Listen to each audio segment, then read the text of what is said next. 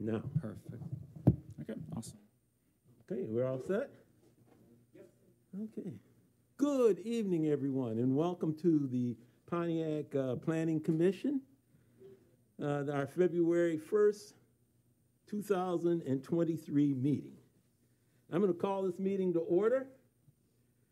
Okay, and we're going to start off with a roll call. Commissioner Henley, Present. Chairman Northcross, Vice Chair, Acting Chairman Northcross, Present. Commissioner Shepard, Present. Commissioner McGinnis, present, Commissioner Duval, So, uh, Commissioner Duval and Commissioner Johnson. Commissioner Duval, Commissioner Johnson, and Commissioner Du- uh, Parlov have expressed that they are unable to make it tonight for various reasons to staff, and they've asked to be excused. So, Okay, thank you. Okay. Do we have any official communications? Uh, we have no official communications this evening. Okay. Uh, let's review the agenda. Do, do we have any amendments to the agenda? None? Hearing none? I'll ask for a motion to approve the agenda. Motion to approve the agenda. Support. Okay, any questions? No questions? Any questions? Okay, hearing no questions, uh, we'll call for a vote. Commissioner Shepard, Yes to approve. Commissioner Northcross, Yes to approve. Commissioner Henley, Yes to approve. Commissioner McGinnis. Yes to approve. Okay. We new, move next to special presentations. There are no special presentations this evening. Okay. Well, we'll now move to our public hearing. And what we're going to do, how we're going to run our public hearings this evening, we'll, um, we'll open, our first public hearing will be the application ZMA twenty-two 11 This is a application for rezoning at four-six-one-five-six Woodward Avenue. And we'll have the presentation uh, of the application and, and pertinent information made by the staff. Um, We'll have any questions, we'll entertain questions from our, our uh, council people, any information that the applicant may want to make, and then we'll open that up for a public hearing after those items. And with the public hearing, well, we'll go through the public hearing once we get there in terms of the ground rules for the public hearing. But with that, let me uh, open that up with a presentation on item uh, number seven. Uh, This again is for 46156 Woodward Avenue, a re- request for rezoning. And we'll take a presentation from our staff. And Chair, if I could advertise to the members of the public that are here, the uh, public hearing format is listed on page two of the agenda. The agendas are at the back of the room if you uh, don't have one, so. Thank you. Um, This is a um, zoning map amendment this evening, also known as a rezoning. It is for case ZMA 2200011, which is again 45156 Woodward Avenue. The applicant is James Pappas of Fusco, Schaefer, and Pappas on behalf of uh, Lighthouse Ministries. And, and the proposed use is for multiple uses through the Lighthouse Master Plan. Um, I just want to note this is a, a master plan Lighthouse is putting on their own. This is not something that is approved necessarily as a master plan through the city. I just want to differentiate that. This uh, request is to rezone to allow different uses for future site planning processes for the proposed expansion of the Lighthouse campus um, at 45156 Woodward Avenue. So, um, just a brief timeline on the screen. Uh, there was an informational session held with Planning Commission on December 5th with the applicant. Um, it was part of a public meeting, but no decisions were made as part of that. Uh, feedback was received. Um, tonight's is a public hearing. There will be a city council approval needed for this rezoning at a later date. Um, and then uh, the applicant will also have to go through a site planning process through Planning Commission in the future. At this time, there is no applications uh, that have been submitted to the city. So tonight's rezoning involves the following uh, parcel numbers that are listed on the screen. I'm not going to list every one, uh, but there are essentially two sets of rezonings with this application. Uh, the first are the properties, and I have a map on a subsequent page here, but the properties that are currently zoned C0 are um, requested to be rezoned C1. And then the properties at the bottom that are listed at R1 are, are, are, are requested to be rezoned to C0. So um, with that said, this is the identification of the um, subject parcels that are part of this rezoning up on the screen. Uh, and then the surrounding land uses. You have um, R1 to the eastern side of this property along Cottage and Park Place and some of the similar streets. But along Woodward, which is on the west end, west side of this image, um, there's a lot of transitional zoning and, and from anywhere from R3 to C0 to C2 for the uh, start of the um, da- downtown uh, mixed-use district. So um, I did want to show what was provided as a campus plan. Uh, This is only for reference. Uh, Tonight's approval or consideration is not for this, spec- any specific use or any site planning. Uh, But I just wanted to highlight that on the um, left side of the screen is, uh, is the C1, where there is a, um, a small grocery store that is planned. And then there are community service uses on the right side of the screen and additional residential facilities um, that are proposed along Cottage Street, as you can see there. Um, as part of this, Hovey, and, what does apply to this rezoning is part of Hovey Street. Um, this is proposed to be vacated. That is a future approval uh, by Planning Commission and City Council, but that is part of the request uh, that begins this evening. So, um, again, this is just a reference site plan. This has not gone through any approval process, uh, but just gives an outline of what Lighthouse is looking to do for the site. So, uh, when reviewing a rezoning, there are 10 standards that um, Planning Commission can consider. I'm just going to highlight some of these. Uh, I'm not going to go through each of these, but it's really to make sure it's consistent with the goals and policies of the master plan, uh, which the city approved in, in 2014. It's compatible with the site's physical, geological, hydrological, and environmental features. Um, you know, the evidence the applicant cannot receive a reasonable return on investment through developing the property with one or more uses permitted under the current zoning. Compatibility with the potential uses allowed in proposed zoning district with surrounding uses and zoning in terms of land suitability, impacts on the environment, et cetera.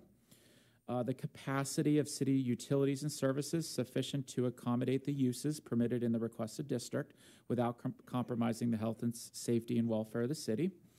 Uh, continuing on at number F, it's the capability of the street system to safely and efficiently accommodate the expected traffic generated by the uses. G, the, ba- the boundary of the requested rezoning district is reasonable for relationship to the surroundings and construction on the site to meet the dimensional regulations for the requested zoning district. H, if a rezoning is appropriate, the zoning district is considered to be more appropriate from the city's perspective than another zoning district. I, uh, if the request is for a specific use, rezoning of the land is considered to be more appropriate. Um, This, um, uh, while this is not a conditional rezoning, um, Planning Commission may consider I, but it may not apply as much as a conditional rezoning. And then number J, the requested rezoning will not create isolated or incompatible zone in the neighborhood. So, um, with that, um, there's more detail within the staff report, but the staff findings are that the t- city's 2014 master plan designates the west side of the proposed campus as an office, hospital, healthcare district, and the east side of the campus as a traditional neighborhood residential district. Both future land use categories in the master plan encourage flexibility. They would permit offices, residents, and neighborhood institutions where proposed, which is similar to what Lighthouse is looking for this site. The applicant will need to apply for a site plan for this project in the future, which would be contingent on this rezoning uh, for the subject properties being approved. So with that, staff's recommendation this evening is approval of the proposed zoning amendment. And as a review, Planning Commission is making a recommendation to City Council, who is the policy body for modifications to the city zoning code. So that is my presentation this evening. I'd be happy to entertain any questions you may have, and the applicant is in the audience. Thank you. I'm going to start to my left. Are there any questions? Um, First, a sidebar, I love your sweater tonight, uh, Acting Chair Northcross. The applicant has done a prior presentation to this planning commission to staff. Was that a initial site plan review, or was that a sort of special presentation al- allowing us preliminary? It felt, it was very helpful. Yep. We, we already are conversant and familiar, many of us, with this this project and it's helped set the stage for where we are now. But I just want to confirm, was that sort of an informal presentation? It was absolutely an informal presentation, and, you know, we're going to see more of these. I would say that that discussion was more, uh, while it discussed both the rezoning and the site plan, I think it was uh, to resolve any feedback that may affect either case going forward. Um, A rezoning, it makes sense to go forward to planning commission first, and, and the applicant's chosen to hold off on the site plan until they can get engineering drawings. So we hope to see that here, here soon. So- And then ultimately, with that process concluded, the site plan review would come through this planning commission again? Is That is, that is correct. Yep. This rises to that, okay. And um, is there anything substantially different than from the informal presentation that you'd like to flag for us beyond what you've already shared? Um, I would not, I think the applicant can address this a little more. They did make a resubmission after that presentation. Uh, I think there were some very small changes, but I would prefer to have the applicant discuss those, so. And to the city's master plan, which we uh, look forward to uh, refreshing, Yeah, uh, would, is it your um, professional assessment that at least in terms of the traditional or the pre-existing master plan, that this is harmonious and compatible? You spoke to that, but I just want to Yep. Emphasize and put a underline on that. absolutely. Th- This definitely aligns with the master plan, uh, particularly with the proximity to Woodward. And uh, this rezoning request is still giving a transitional, more intense zoning on Woodward and, and transitioning to a lighter um, zoning district with the C0 before moving on to the, the single-family residential. So um, this is definitely um, supported by staff and, and professionally aligns with that master plan. So obviously, the state of Michigan, Michigan requires, uh, with the zoning uh, and enabling acts, et cetera, that uh, this public hearing happen at the planning commission level. Yep. Um, Are we required to do a formal vote of recommendation as a planning commission to allow it to then move on to ultimately city council consideration? That is correct. yes. Okay, and so the expectation from staff is that we'll, we'll consider that action tonight. Absolutely. Okay. Uh, I think that concludes my questions as it relates to staff. I don't think I have, I- I mean, they did a great job presenting last time, so I think a lot of my questions were already answered. Um, I think it'll be nice if, if there's neighbors here to hear their comments. Um, But everything I saw was excellent, so I'm gonna, I'm gonna leave it at that for now. Uh, no questions for staff, although I wasn't here for the original review, so I will probably have some questions for the applicant. And having sat through the uh, prior um, review and looking at the items here, uh, right now, I don't have any additional questions. Um, Like to ask the applicant if you'd like to make some comments or point out some things. I think there is a question about how much does this differ from the previous presentations we've had? So will the applicant come forward and? Mhm. And as you do, there's, at the base of the microphone, you'll want to push the button to the right. And the red light will come on. It is activated. Thank you. Okay, good evening. I'm Todd Burke. I'm the Chief Real Estate Development Officer at Lighthouse. I appreciate your time this evening. Uh, Steve Rofi uh, with Fusco Schaefer and Pappas, our architectural firm, is representing us this evening. Jim was unable to make it, so he's going to speak a little bit to some of those changes that were made and just kind of answer any questions and recap it for you at this time. Hi, I'm uh, Steve Rafi, Fusco Schaefer Pappas Architects, uh, 550 East Nine Mile Road, Ferndale, Michigan.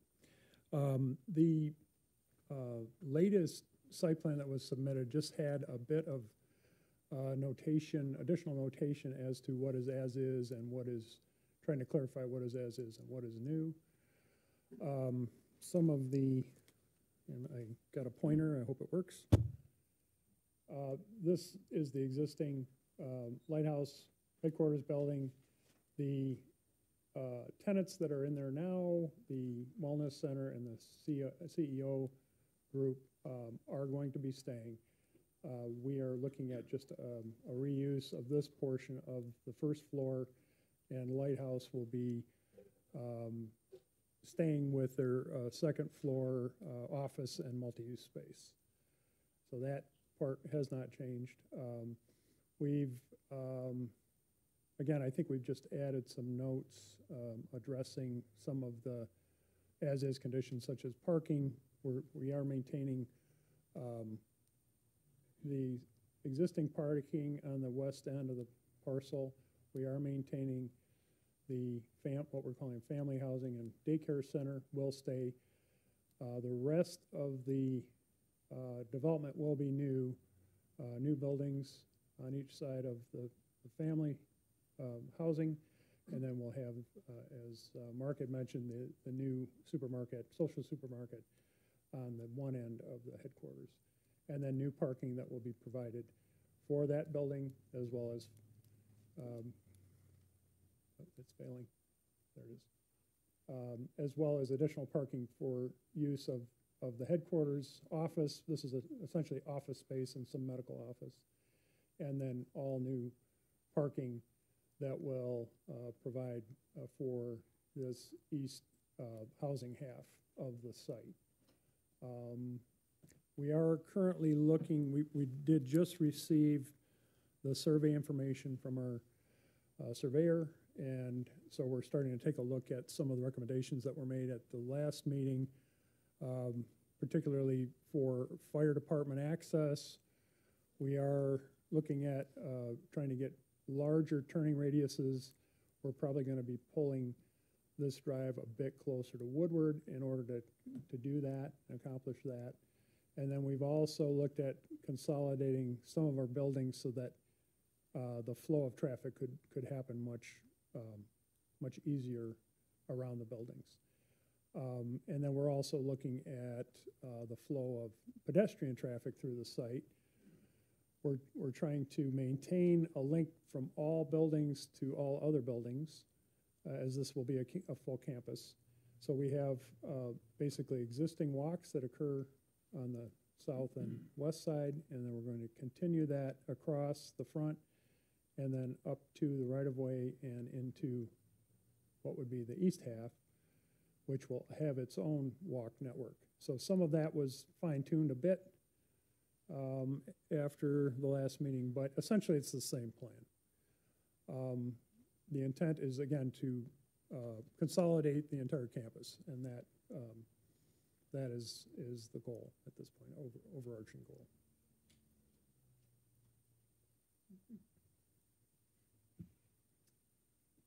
No other questions?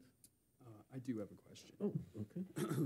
Yeah, so I guess my main question relates to the standards of approval, item D, whether it's compatible with its surrounding uses.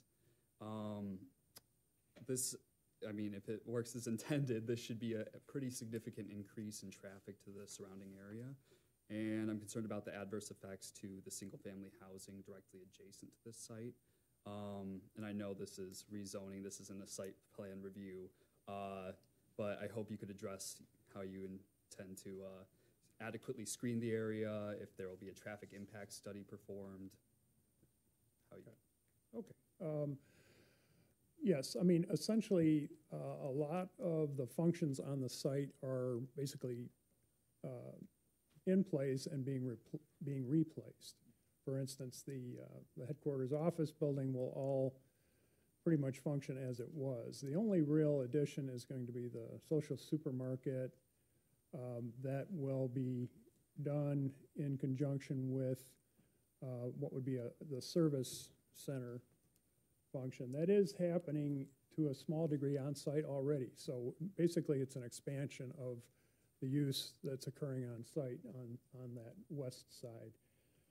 On the east side, there is an existing building here that functions as uh, a housing opportunity um, center. It is much smaller um, and has its own dining facility uh, that, that works in conjunction with the family uh, housing. Uh, We are expanding that. So it's basically the same and, or very similar use. We're, we're expanding to, to allow for um, more clients on campus.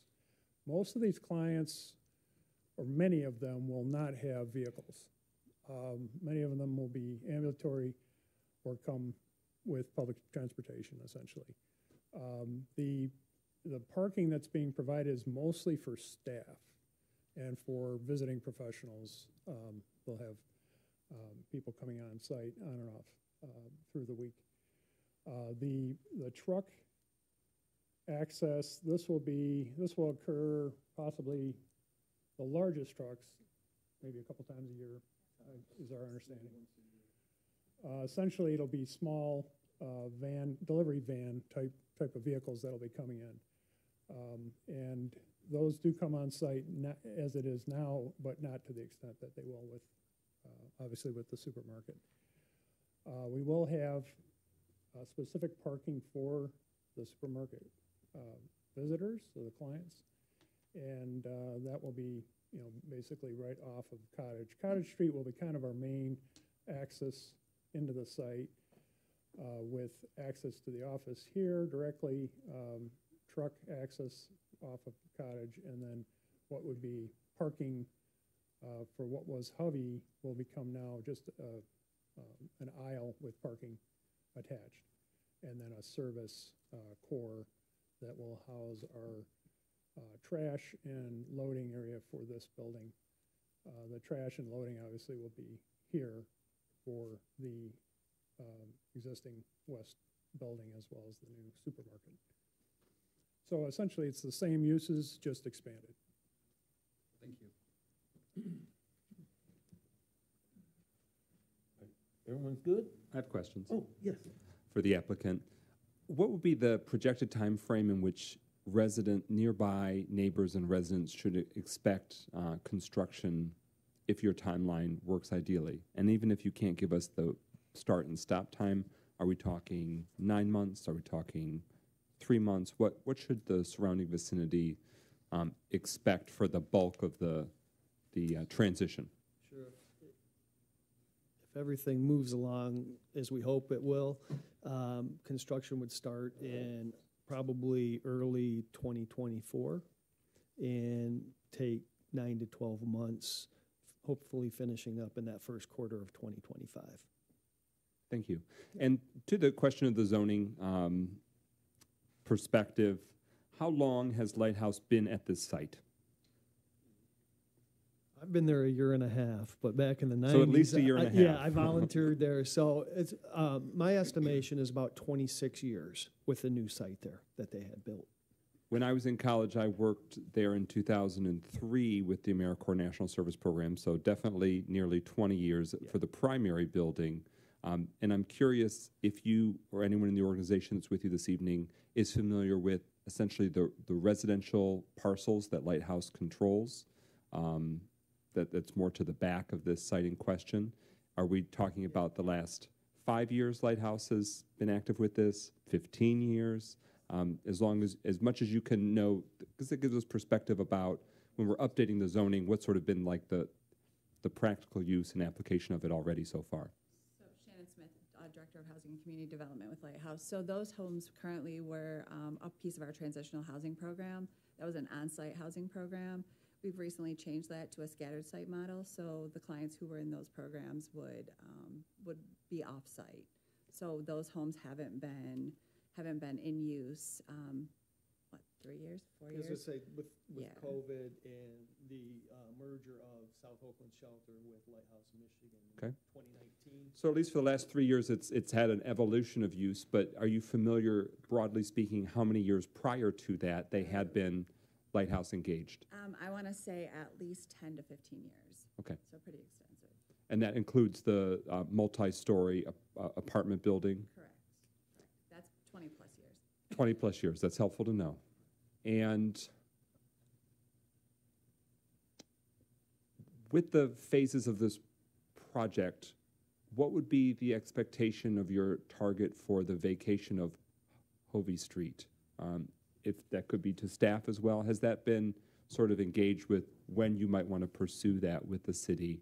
And does this zoning uh, decision have any impact on that? Commissioner McGinnis, if I may add, this has not been discussed with the timing with the applicant, but if, if there's a 2024 plan, we do have a site plan um, expiration, and so we may want to just coordinate what the best time is to get that approval uh, beforehand. And I think that that vacation may occur around that same time. So, but we can coordinate dates on that. So, Anything further you want to offer on the Hovey Street vacation? I mean, it's really, uh, as a part of, of- of what we're, we're planning for the site, um, it, it will be an integral part of, of the overall campus, um, in such a way that, it- you know, it's providing access to and from, it is, uh, providing, uh, emergency access as well, and it- additional parking. So it, it will be, uh, need to be integrated with the, the development of the other portions of the site. I don't know that we've discussed phasing on, on the project at this level, but Understood. Thank you. That concludes my questions for the applicant.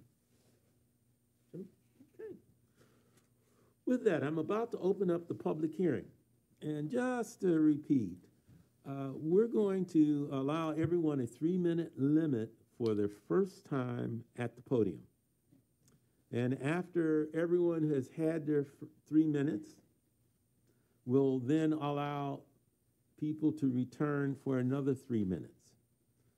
Now, we're speaking only on uh, this item, which is the rezoning uh, issue. So please keep your questions and comments targeted toward the rezoning issue. And at the end, after everyone's had their, their uh, chance to um, speak on this subject, uh, I'm going to then um, ask for final questions from the commissioners and close the public hearing, and then we are going to deliberate on a recommendation. So having said that, I'm going to open up the public hearing. Please step to the podium, speak into the microphone, state your name and your address. And for the record, that public hearing opened at 6:35 PM.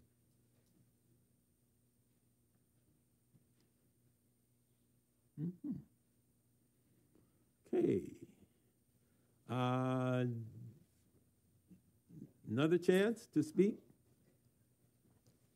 Please state your name and your address. To the right. There you go.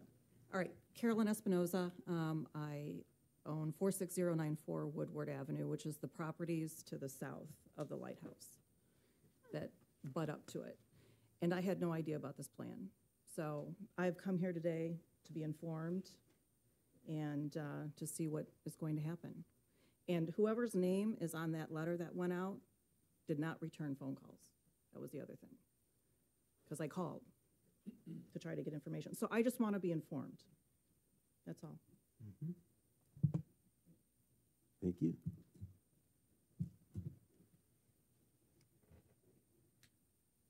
Any other comments? Questions? Regarding the rezoning?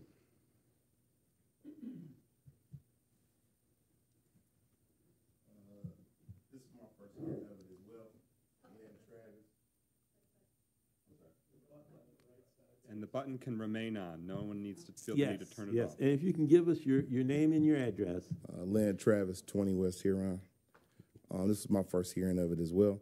And I just have a simple question because um, they indicated that they had a scheduled construction start date. So my question was, have they already acquired a general contractor and is that contractor a local uh, uh, company for the city of Pontiac? Okay.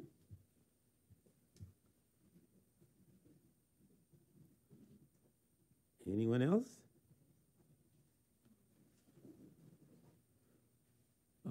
Okay. Okay.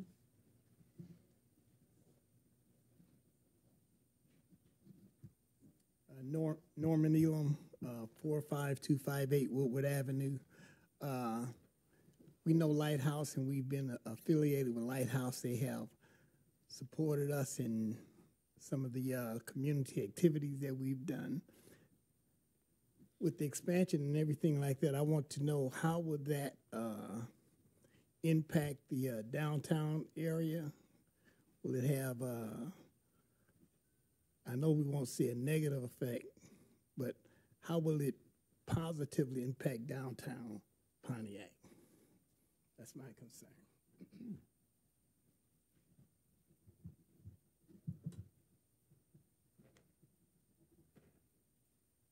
Okay, anyone else?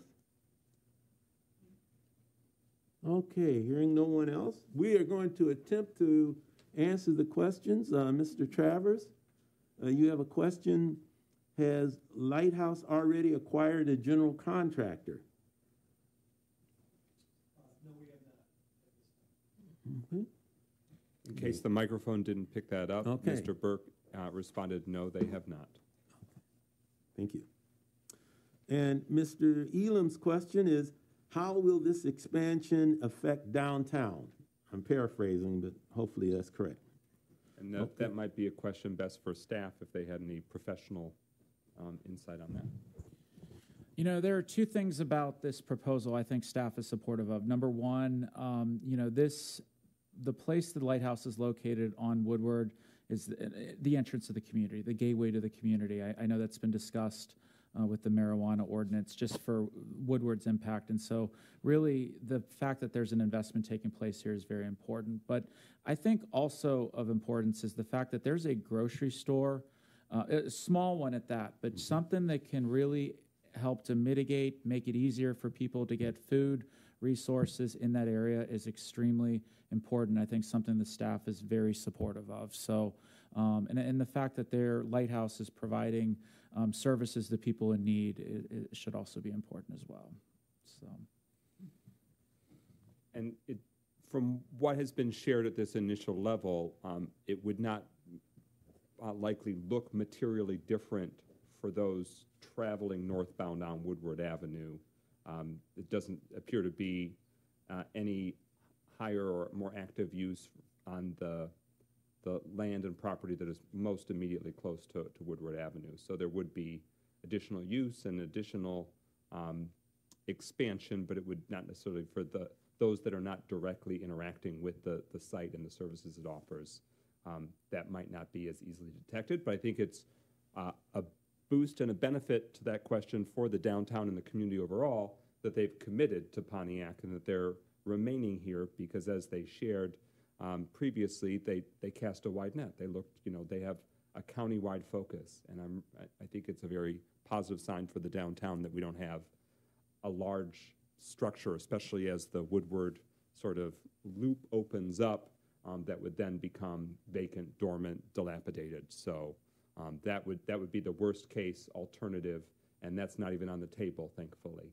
Um, but that would, I think, um, hinder further the, the growth and forward momentum of the development of the Woodward corridor, our downtown, and, and the city as a whole. Mr. Shepard? No further comments. Mr. Henry? Uh, no further questions or comments. I- I do have one other question. Um, the interaction with your neighbors, uh, you know, um, I guess you, there's no one on uh, Hovey or Hovey, uh, however that's pronounced, but then the intersecting street where there's that nice wide boulevard. Have you had a chance to discuss with uh, those neighbors your plans? Um, Yeah, so that's a great question. So we've had three town hall meetings. In the first one, um, we delivered flyers to people all along um, that first block of Osmun, Park Place, Cottage, Center Street, a few other other streets locally uh, by hand. Um, we had probably 12 or 13 turnout at the first town hall, uh, slightly larger number at the second town hall, and uh, just this past Saturday, a, a nice turnout here. But I don't know how many of them specifically lived on Park Place, but they did receive the flyer and they did have that opportunity. Great. Thank you. We may need to close the public hearing at this time. Yes, yes. Okay, with that, we're going to close our public hearing. Time is 6:42 p.m. Great, thank you. So, gentlemen, um, I think we exhausted all our questions. Any comments, concerns? Uh, Chair, for the, the neighbor that, that came here, this is, if Mr. Yendrick wants to recap where this is, this is early in the process. This essentially is updating what the zoning is. And this is a recommendation from this level. It would then next go to the Pontiac City Council for at least two readings. Um, so there's multiple more opportunities uh, to offer one's perspective. But this is essentially updating the, if you want to go back to that slide, Mr. Yandrick, that shows what the current zoning is for the land. So it's taking what is right now C0, and that would become C1, and what's R1 would become C0, the lowest, you know, and the least dense and the least intrusive, um, eh, to describe it very broadly. Uh, and so this is the question that is before us today.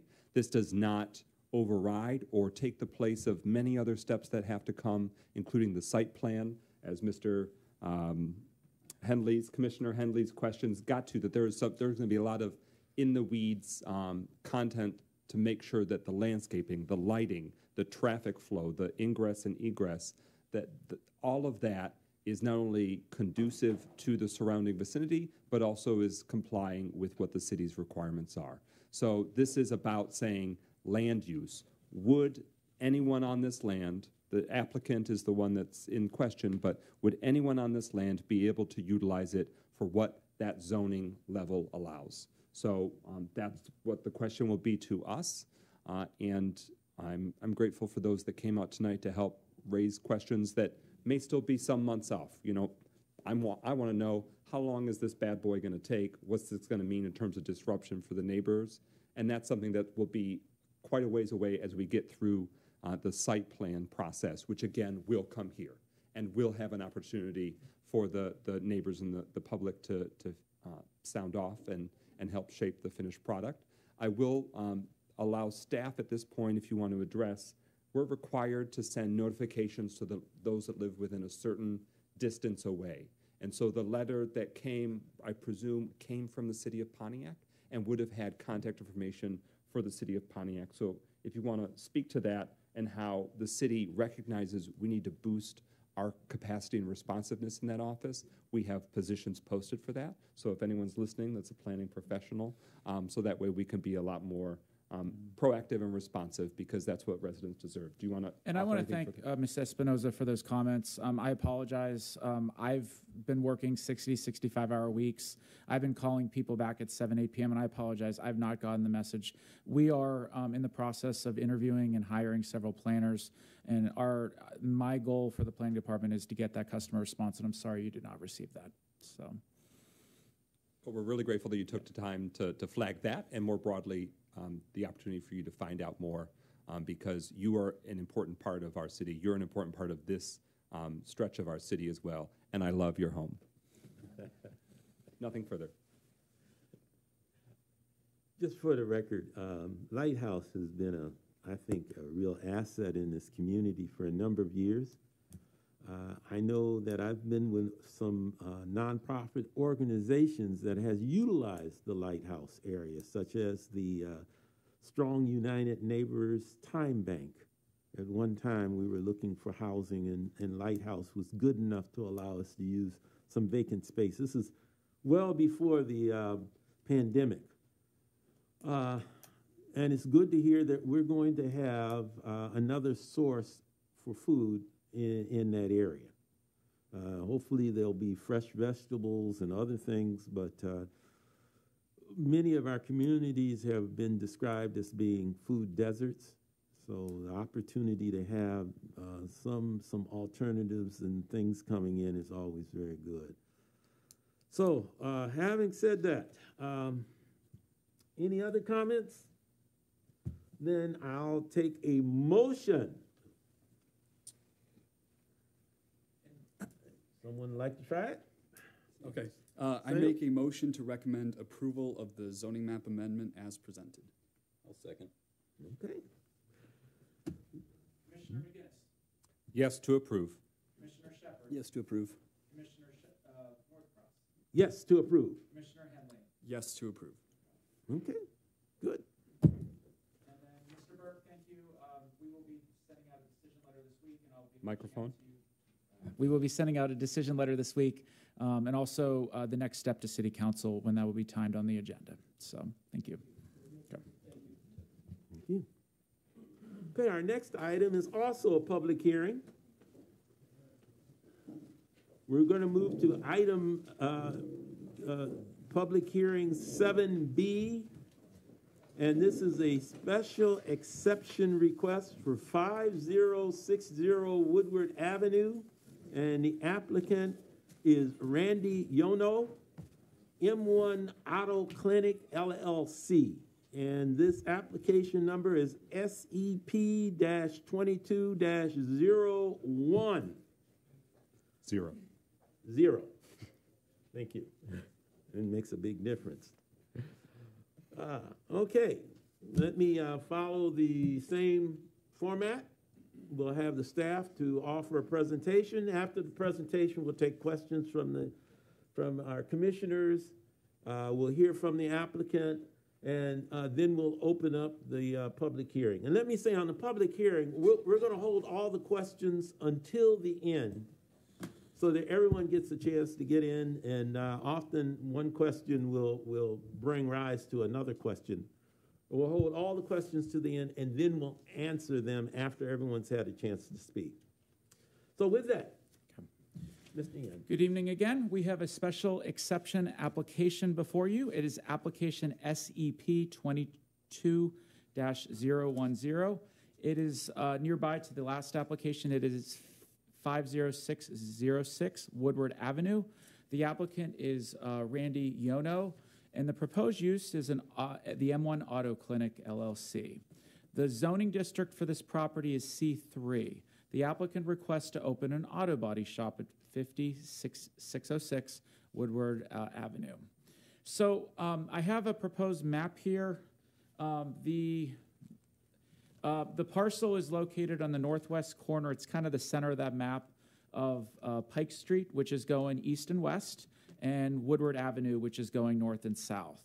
It, the property has been vacant since 2018 when the last permit was issued to Mazda Auto Parts, and that permit was a business license. Because it's been vacant for more than 12 months, the previous use is no longer legally conforming. Uh, the proposed uh, building is 7,505 square feet um, at that northwest corner. So uh, the proposal shows the outline of the property. Now, there really is two sections of this building, and what the applicant's looking for is the shaded section. It's to open an automobile repair shop and collision center, which requires a special exception permit in the zoning district. Again, 7,505 square feet on a total of 17,000 square foot uh, parcel. Um, the applicant uh, addresses in the application that most of the vehicles will be stored inside the building. Um, there are approximately four parking spaces on the north end of the site. So I just have a few photos. Uh, the top photo is from the intersection of Pike and Woodward, um, looking again from the southeast. Um, and and the looking at that top photo on the left of that, that would be the adjacent use that is not uh, before you this evening um, for this uh, auto body and collision shop. Now, the, the picture on the bottom uh, does show the where the red facade is, uh, the area where most customers would go, the cars would enter the site. Again, this is on Woodward uh, Avenue uh, uh, from the northeast corner. So, um, I did want to describe uh, for Planning Commission and the public what is a special exception permit. The, the city is divided into districts within which uses of land and buildings and the, and the bulk and location of the buildings and structures in relation to the land are substantially uniform. However, there are some special exception uses because of their unique circumstances cannot be properly classified as a uh, principal permitted use in any particular district or districts without considering in each case the impacts that those uses have upon the surrounding neighborhood.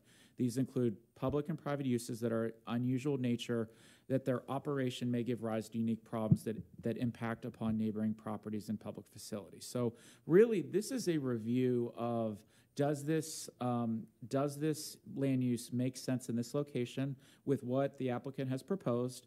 And is there any negative impact to traffic or the surrounding area, to the surrounding neighborhoods? And that's really what's being reviewed in the uh, four standards of approval for a special exception. And, and, specifically, I would like to call those out. There is an analysis uh, in the staff report, uh, but the proposed use shall be harmonious with the City of Pontiac Master Plan. The proposed use and appearance of the site shall be harmonious with the existing and intended character of the and the general vicinity. The proposed use shall not change the essential character of the area or adversely affect the development of the surrounding neighborhood. and the proposed use shall not be hazardous or disturbing to existing or future uses in the same general vicinity, and will be a substantial improvement to the community as a whole. So, um, I, uh, just very brief, you know, car dealerships and, and auto body shops for that matter are very common in the C3 zoning district. And you have this land use uh, along the west side of Woodward, adjacent to the railroad properties. You have them along Cesar Chavez. You have them along Walton Boulevard in the city as examples. Uh, this site, particularly though, is adjacent to downtown, the C2 zoning district. Um, but in its conclusion, while the C3 zoning district is typical, this parcel is very small and does not allow for proper access and site circulation. There is some concerns at a staff level that, you know, this may not be able to handle the traffic, the ingress, the egress, um, just with the nature of the built environment of the site. So, uh, with that, um, that is my staff report. Um, staff recommends denial of this application. I'd be happy to ta- entertain any questions that you may have on this item. Um, I'm not sure if anyone's here on behalf of the, yeah, there he is. Um, the applicant is here, um, hel- ready to answer any questions you may have, so. Well, I'm going to start with our commissioners first.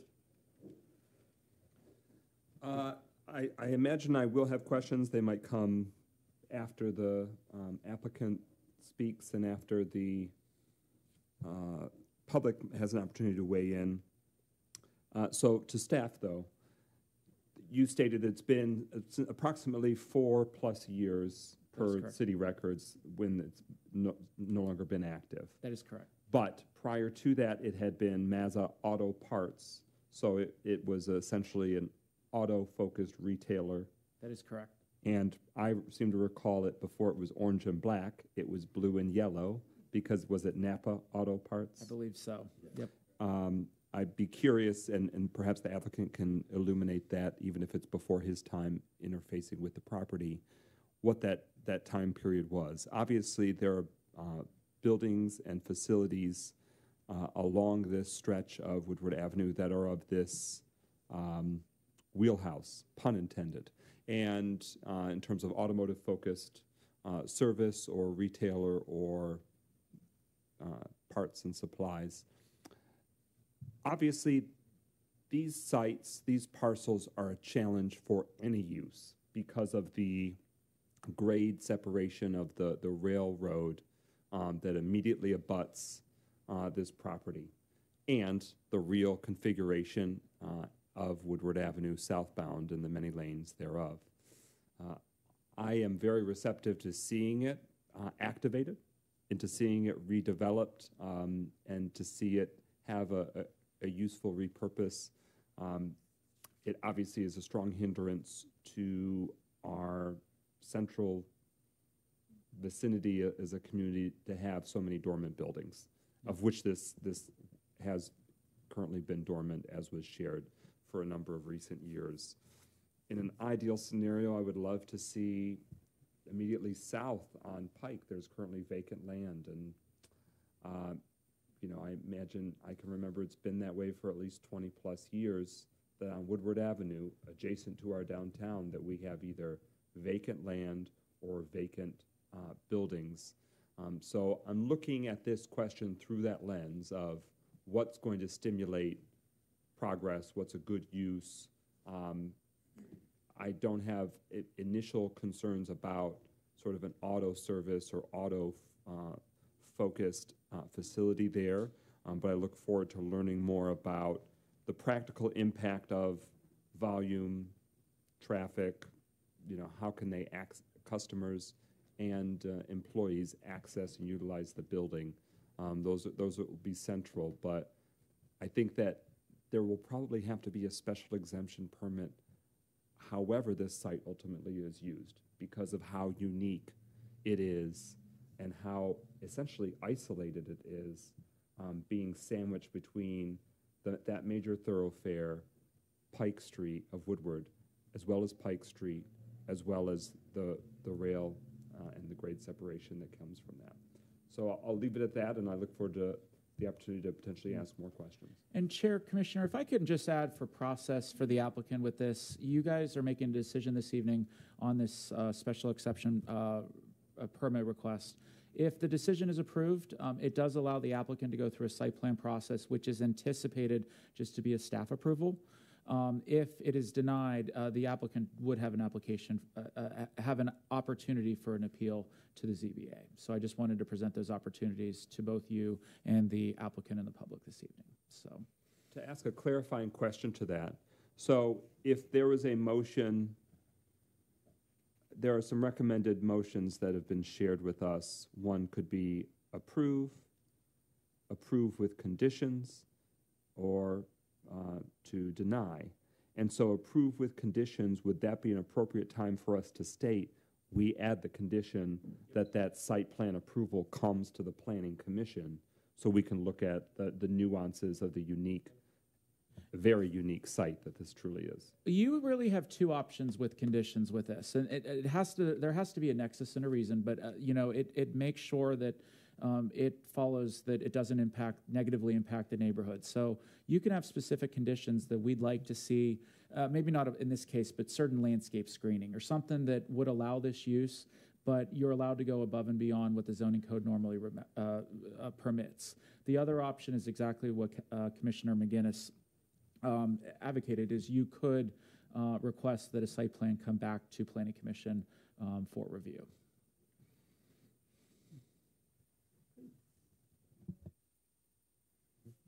So I think I'll, most of my questions will be after the applicant presents.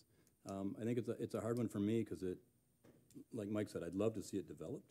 I also think that's the, that's where we're about to, in theory, about to do the whole Woodward Boulevard. Um, when that happens, I don't know, but it's, it's a key property. Um, my concern would be not wanting to see a bunch of cars sitting outside, right? Like, so I don't, I haven't heard from the applicant yet, but that would be the disadvantage, and I don't know how to screen those. The collision shops that I can think of that are clean and fresh looking have a whole back area, and I don't see the area for that. Um, the good news is you don't have neighbors next to you, so you're not really, I don't think you're causing any issues for the neighbors. But I think that it's such a key location for coming through and seeing the downtown. That would be, that would be my only concern, but I'd like to hear from the applicant before I go much further on that, so. Um, yeah, so my questions will also be after you present. Uh, I don't inherently have a problem with the proposed function of the property, more with the functionality of the site and if this is the right property for the proposed use. I will ask, save my questions for after. Uh, I, I do have a question. I remember this property being brought forward as a marijuana testing site. I believe that was about two or three years ago. And I believe it was actually approved for that use. Uh, now, um, I want to be clear too that that are we speaking of the same building that was going to be used for for uh, as a proposed marijuana testing site? Is that now the collision center, or is that actually larger? The building itself is actually large, right? Please. Good afternoon, or good evening, council. My name is CJ Bartmus. Um, I'm, uh, partners with Randy Yono. Um, Randy's out of town on business. Uh, he asked me to come up and, uh, represent M1. I'm the owner of M1 Wheel and Tire, M1 Automotive, M1 Towing, M1 Auto Properties, and so on. Um, so these two buildings, these this building in particular, they're both unique buildings, uh, both from a topography standpoint, um, with the train tracks that are elevated behind the building. There is a alley back there, which is uh, not large enough, I guess, to be considered a road. It's not on the, the city map. Uh, it is not maintained by the city, the county, township whatsoever. Um, it's not large enough for emergency vehicles to pass through. Um, so there is property behind the building per se, and uh, the address in question is the one with the windows out front. Uh, the testing facility, I believe, was a different address, and I'm not certain about that because I wasn't involved in it. Um, as far as the parking goes, that piece of parking there is quite large. I actually, uh, in in possession of the building next door, 50444 Woodward, um, which is the corner of Lawrence and Pike, or Lawrence and Woodward. So our buildings are actually married in the middle with a common wall. Both were auto centers. Um, Jeff Mazza previously operated Mazza Auto Parts for as long as I can remember. Um, as a little kid, being in the in the community, my family, my uh, has owned uh, several buildings and businesses in the community. Um, we own an employment service, so we've been directly involved in the community of in the city of Pontiac for decades. Um, we're going on 50 years of business this year. I'm second generation in that that company.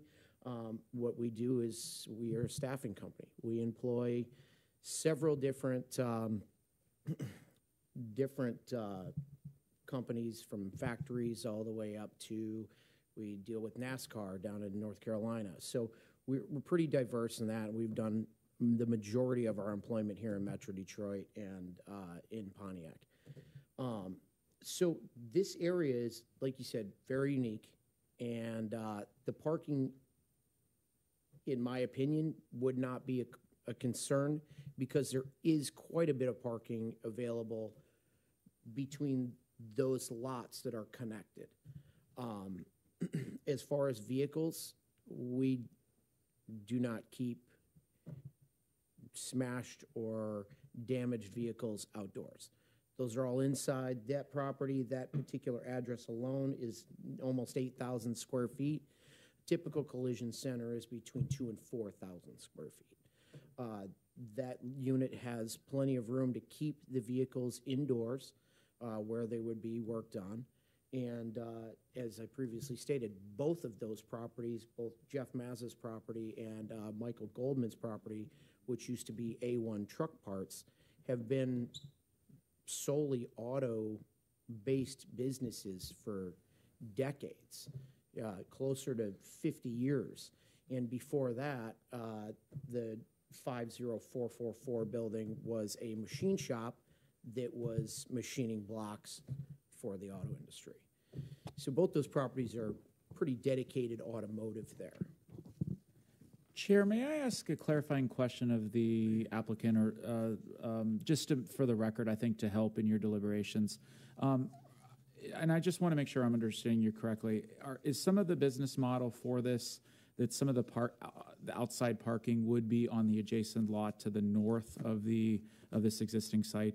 Yes. so the existing site has two parking lots on either side of that main part of the building with the windows. Okay. So between those two parking lots on both sides of this address here, uh, there are, uh, let's see, four, five, six, roughly six easy in, easy out spaces on this corner here, on the north corner, and probably the same on the south side, as that side is not in use. Okay. So, um, you're talking six, you know, 12 to 16 parking spaces just there, along with an additional um, six spaces at the south end of 50444, the white building Okay. right there. And I, I do want to share that that is not in the application materials itself. Um, you know, and obviously we can work with the applicant for off-site parking spaces. Um, I appreciate sharing that information. So, We've all, there, uh, there's also a secured lease with, uh, Joe Jacobs property to the, would be the west of Viaduct there as well, which is a secured fenced parking, uh, lot back there. Uh, So, uh, if I may, then the, the, the marijuana testing site has gone, no longer Uh, being again, under I- consideration. Sir, I'm, I'm not certain as far as that goes. I believe Okay. that's a separate Good. address. I'm not involved in any of Well, that. it was the same address, it was the same place. Okay, I I believe that building itself has multiple ad- addresses, so that's, Okay, uh, good. And the uh, parking area you're referring to to the west, that's on the other side of the railroad tracks? Yeah, there's another parking lot that's under contract What used to be side. the uh, old Salvation Army? Uh, no, I believe it's adja, uh, that parking lot's adjacent to the Salvation Army. Salvation Army is now owned by someone else. Okay, We were not able to close on that property. Okay, and so that property, is something you could point out where your additional parking will be? Uh, Tough to say on this map, it's over here. So these are the, this is Pike, this is Lawrence, and it is this lot here, I believe. Oh, okay. Yeah, this lot here. Okay, so there's no communication, uh, Lawrence is dead ends into that railroad track, eh? Pardon me? Lawrence dead ends into the, On both sides, yeah. yes, So Lawrence dead ends into the railroad track between Goodyear and my building. And then it's a very, maybe, maybe nine foot wide between the building and the wall. For the sake of those watching at home, if you could use the microphone. Pardon me? You're good. Sorry. Uh, maybe nine feet between the building and the wall, uh, back behind the buildings. It's, it's a very unique shape. It's like it'd been added on to multiple times throughout the years, back in the fifties. Um, so the building kind of starts to jog down that alley, and that alley's not on the city plan. Um, and Lawrence Street there is also a dead end, so that you really can't go anywhere between Pike and Lawrence and those buildings who are, that are married in the middle. And if I may, do you own both properties all the way to Lawrence? Uh, no, I'm on the north side. Okay, you're, okay, but I mean, this, so this property is on the south side? on That, yep, Pike, on the south side, yes. And you don't have any ownership of the building on the north side, correct? The big white building there? The white building, yes, that's my building. That is your building, okay, Yes. so you have all of, in theory, all of the property? from Correct. Pike to Lawrence? From Lawrence south to this building, yes. Okay. Yep. There's uh, That's what internal you're like, I'm sorry. vehicle storage noted on the plans. Do you know the approximate square footage of that storage area? This, this building here, seventy, the total building Just square, the storage area. for so cars. that, that storage area is that area, this, the, the proposed area. So any vehicle coming in will have its own space. A lot of what we do already is higher end restoration, things like that. We deal with, a- we have a large customer base at the M1 concourse down the road. Um, and a lot of it is mainly restoration. Um, we just, we build a lot of higher end vehicles, um, a lot of race cars. So that's mainly what this business focus would be. Um, What will you uh, do to the outside of the building?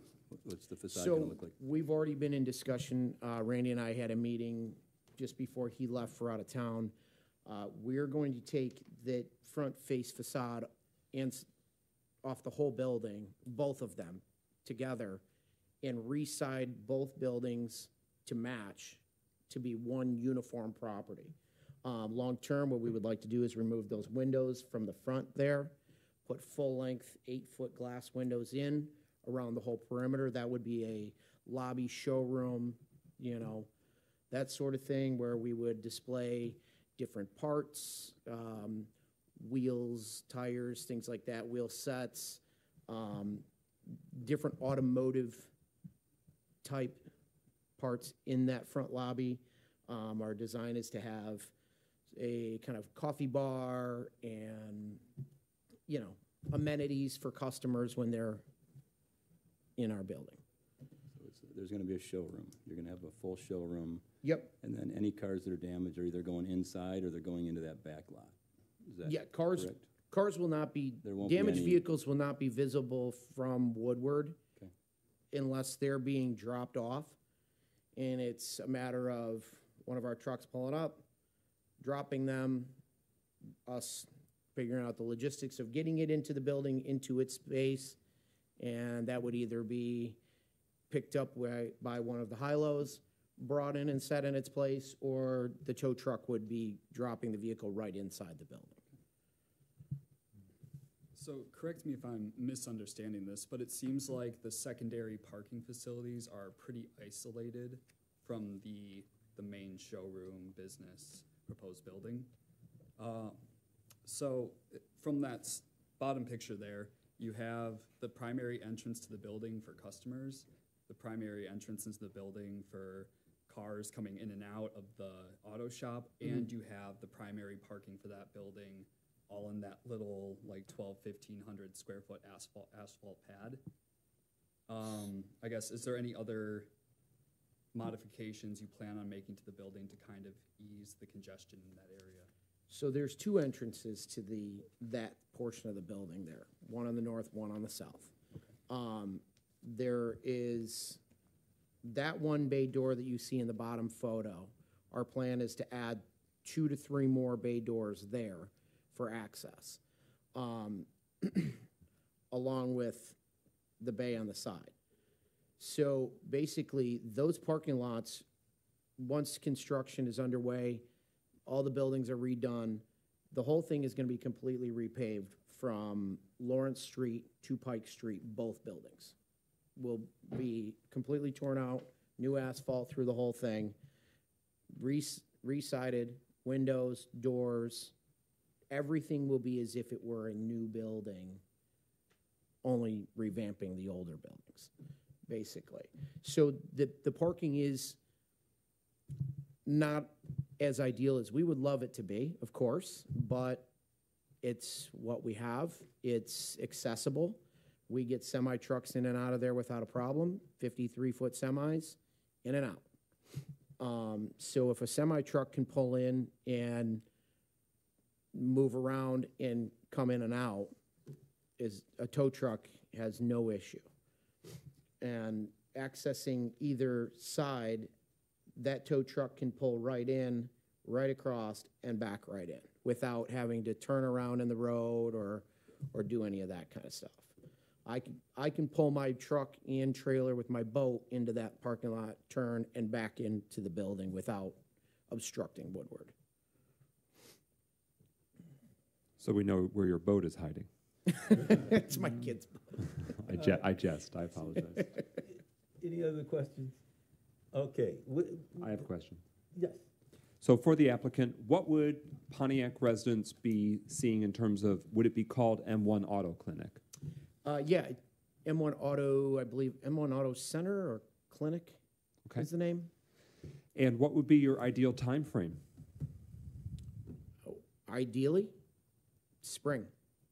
Start, begin construction as soon as possible, April, March, April, And how long d- would it be the realistic duration of construction? six months.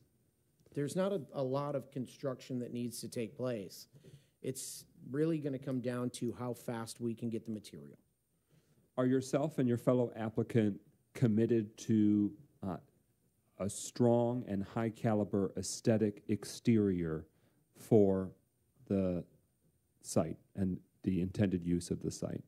That's my main goal. I want it to look like the place. You're not going to bring your car or have your car towed to some place that looks like it's a fallen down building. I want it to be the nicest auto facility on Woodward. That's my goal. So that starts from the outside in. That concludes my questions for the applicant. Okay. Well, Chair, if I may just add, um, th- and again, tonight's the first time I'm hearing about some of the off-site parking, and this is not unusual for a land use to have that. Um, I, I just want to express my concern a little bit that tonight's application is only for the special exception for this property. Um, I know some of the other properties you mentioned are also C3, and I would need to make an evaluation, possibly with an attorney, just to see, um, you know, would that have to go through a similar process as well? Um, again, want to be supportive, you know, to the extent possible, um, just within our regulations as well. So, and I think we would address that a little more hands-on for the site plan process. So, Absolutely. Thank you. With that, I'll open up the public hearing. Uh, This is a public hearing for a special exception request at 50601 Woodward Avenue. Public hearing is now open. At 7:18 PM. All those wishing to make a comment, please step forward to the mic. Uh, State your name, your address, and we allow you three minutes, and we will take your questions at the, uh, at the end. And if you can reset that, okay, thank you. Again, Norman Elam, four five two five eight, uh, Woodward Avenue. Uh, the place that he's, uh, talking about, I've been there and supported the, uh, businesses that were there when it was a Napa, A1 Auto Parts, and the like. Uh, going there has always been a problem with parking, you know. Uh, I don't, I don't see how that enhances the master plan. Now, don't get me wrong, it needs to be developed, but I don't see how it enhances the master plan for the city of Pontiac and for the downtown area. Uh, I think it was on Huron Street at the old uh, Oakland Press they had uh, vintage cars and nice, and that was nice. You know, there wasn't any any cars. It was a showroom, which was nice. I think it have self uh, since moved or left the area. But if it was something like that, that's nice, and that that was nice. But for this, and it's an awkward shape situation here, the parking. And I know we can say. Uh, it won't be this and it won't be that. You won't have uh, any blight per se, but uh, wrecked cars or coming in to be repaired, you know, if they're really doing a lot of business, it could be bad sight for what we're trying to do in the downtown Woodward area. So that would be my concern. Tell me that it's going to be nice, fine. When you get your permit and things like that, or the go ahead to do it, it don't be what you project it to be. And that would be my concern. If there's a monitoring system in place to make sure it's done, kept up, and maintained, then that's something different. But it does need to be developed. Uh, but for a auto place body shop, I don't see it being that at this time. Thank you. Anyone else? Anyone else? Okay. I'm now going to go back to our fellow commissioners. can you close the public hearing, please? Okay. Well, with that, we'll close the public hearing. The time is 7:21 PM. We'll go back to our fellow commissioners. Well, in, terms of deliberating, I think that um, if we are to approve it, I'd want to um, put the condition of approval that the site plan um, comes before the planning commission. Um, I think that's a necessity, so that way we can ensure it's as uh, tight and as comprehensive as possible, of which I'm sure staff site plan review happens, but so that way we have the opportunity for the community um, to ensure that the standards uh, are met. My question for staff, though, is is that a, a, pertinent time or a viable time for us to add those additional items, or would it really be at the approval of the special exception permit? Like if we require additional um, facade requirements because of the unique nature of this site that rises the level of needing a special exemption, it also needs that special conditions, if you will, because of the unique nature of it. Don't get me wrong that there, that's a great, wonderful question. And, and really, this special exception allows planning commission to add re- regulations that are above and beyond what our current zoning code goes through. And while, when you look at architecture, landscaping, site design, you're pro- providing critical feedback, you're really working within the bounds of what our landscape requirements are, our lighting requirements, our architectural requirements. So for the special exception, this is your opportunity to go above and beyond if you wished to vote approval this evening. So, And a relevant related question, when it comes to explicit intent or impact that we can have on parking, is there anything in the confines of our current zoning that, that really already governs that? So that way it's Yeah. about, um, you know, are, is it all left to chance about, um, you know, clunkers with their smashed front ends overnight or for weeks or months plopped there? I mean, that might be a, a code enforcement matter, but you know what I'm getting at? Like, what, what's the appropriate process to be able to have those safeguards in place for the, the end use? Would we be foregoing that opportunity once the special exemption permit approval cat's out of the bag? yeah. I have two answers. And I think the one thing from a staff level is what's been described to me from Mr. Yona was that a lot of the parking was taking place on site. And so um, I really, while we give allowance for parking off site, um, this is more than 50% of the parking. I'm not sure that that meets our even zoning requirements, and I would need to review that a little further. And if we came back with a site plan um, to planning commission or at least a staff review, we'd be assessing all sites the parking, you know, would be there. Um, really, even if with different parcel numbers. Um, my concern is that um, with this type of use, there's an industrial nature to it. And that's why there's a special exception in a C3. And, you know, you, and absolutely, I mean, this is designed for automobiles from the previous uses that are there.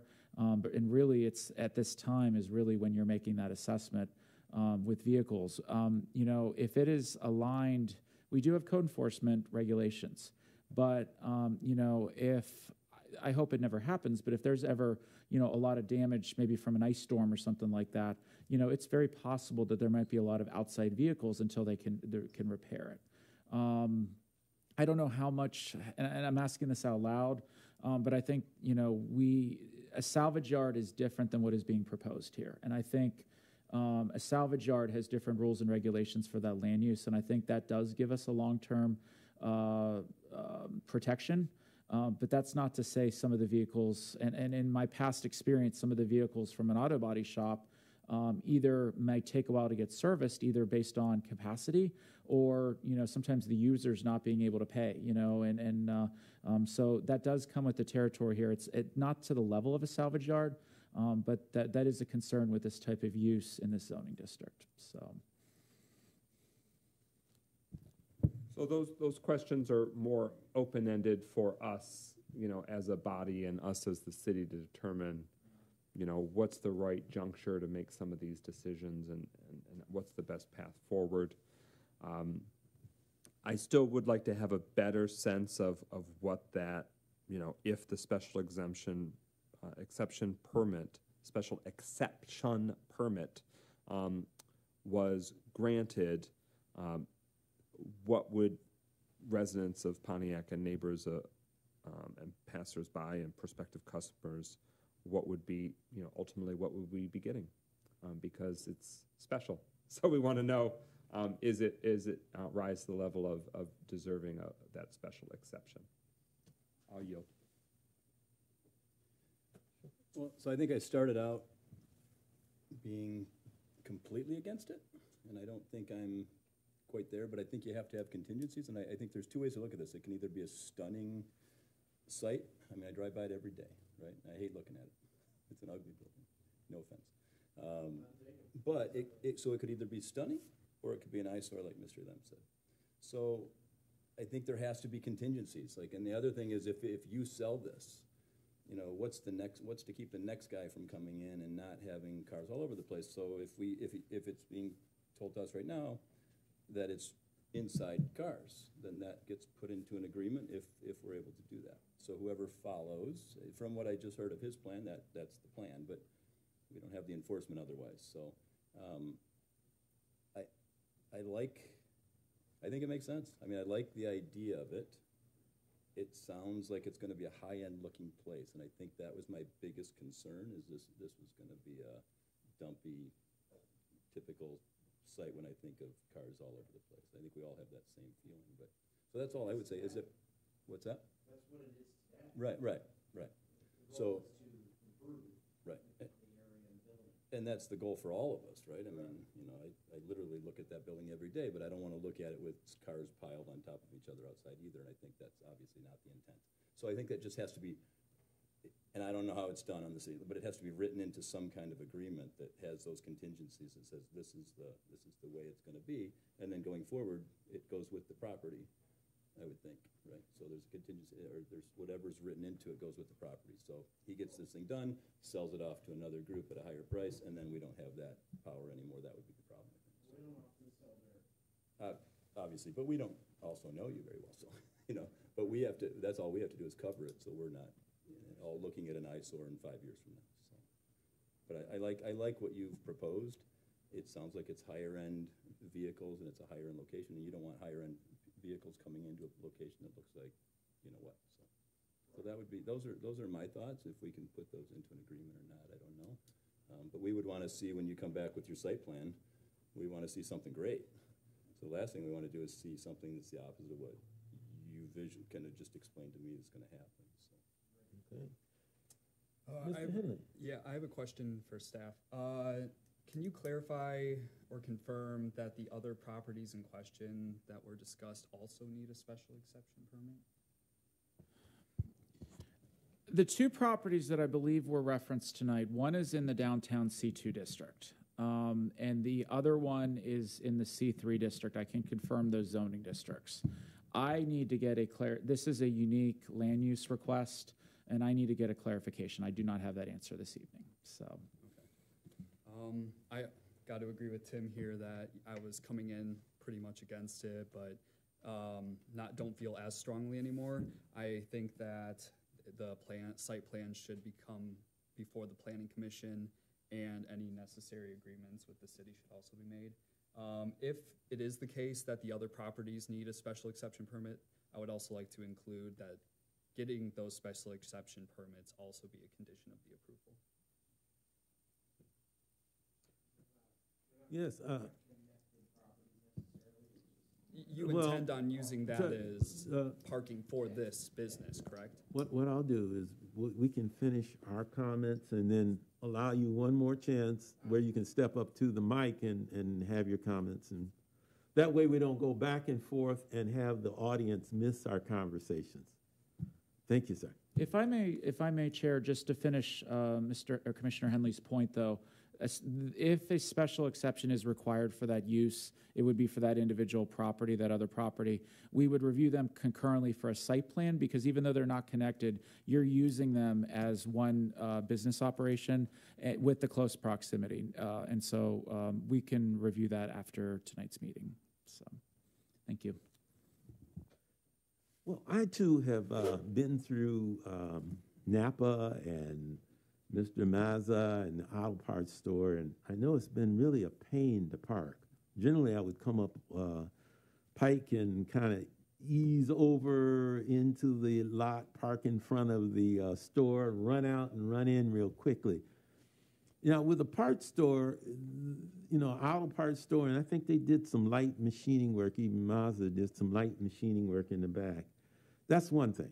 Um, you you have uh, orders that you can send people out to other locations, but when you get into whole vehicles, that can really get tricky. In fact, we can ask all of our automakers now who are trying to build new cars, and they have lots and lots and lots of cars waiting for chips or this or that or this or that. And, and when you, you're working with some of the collision, it's not that you're not working on the cars in a timely fashion. If you're doing like kind of the uh, normal collision work of day to day cars, uh, you're waiting for parts often. or, or maybe there's one more step in the process that has to happen. So you can't always go right in the door and right out the door. Now, I, I hear you are um, stating that this is not, that th- this is going to be a high-end collision shop. Um, I, I, I, I don't know. I, I, guess I'm with uh, Mr. Shepard that, uh, you know, if we're looking at all the cars being contained within just that facility, uh, the, you know, if we're, if we're having to speak to uh, remote facilities that you move cars in and out of, and we're now talking about additional um, uh, uh, rezoning or exceptions for outside storage, which is basically what we're talking about. Um, I, I think I think we're you know I think we're going down the wrong path. But if all of the cars, all of your vehicles can be contained within that facility, and you can, I guess you can still stay make money in that in that manner because when you have a car taking space, it takes the space, you know, and uh, you can't do anything else until that car gets out of the way. So um, I don't know what types of vehicles you're looking at. I know we have some very, very uh, exclusive facilities already in Pontiac operating today with some very, very uh, nice vehicles. And if you're tapping into that market as part of M1, then that's one thing. And I could see a exception uh, with the conditional storage of the vehicle inside uh, possibly working, because that would say that you probably would not have that that many cars parking in front of your facilities anyway, because the it's not going to be a large volume in and out like there might be in some other types of uh, shops. So, having said all that, um, I guess we're at the point where we're entertaining a motion on a recommendation. I'd like to entertain that motion. All right, I might have forged some path forward.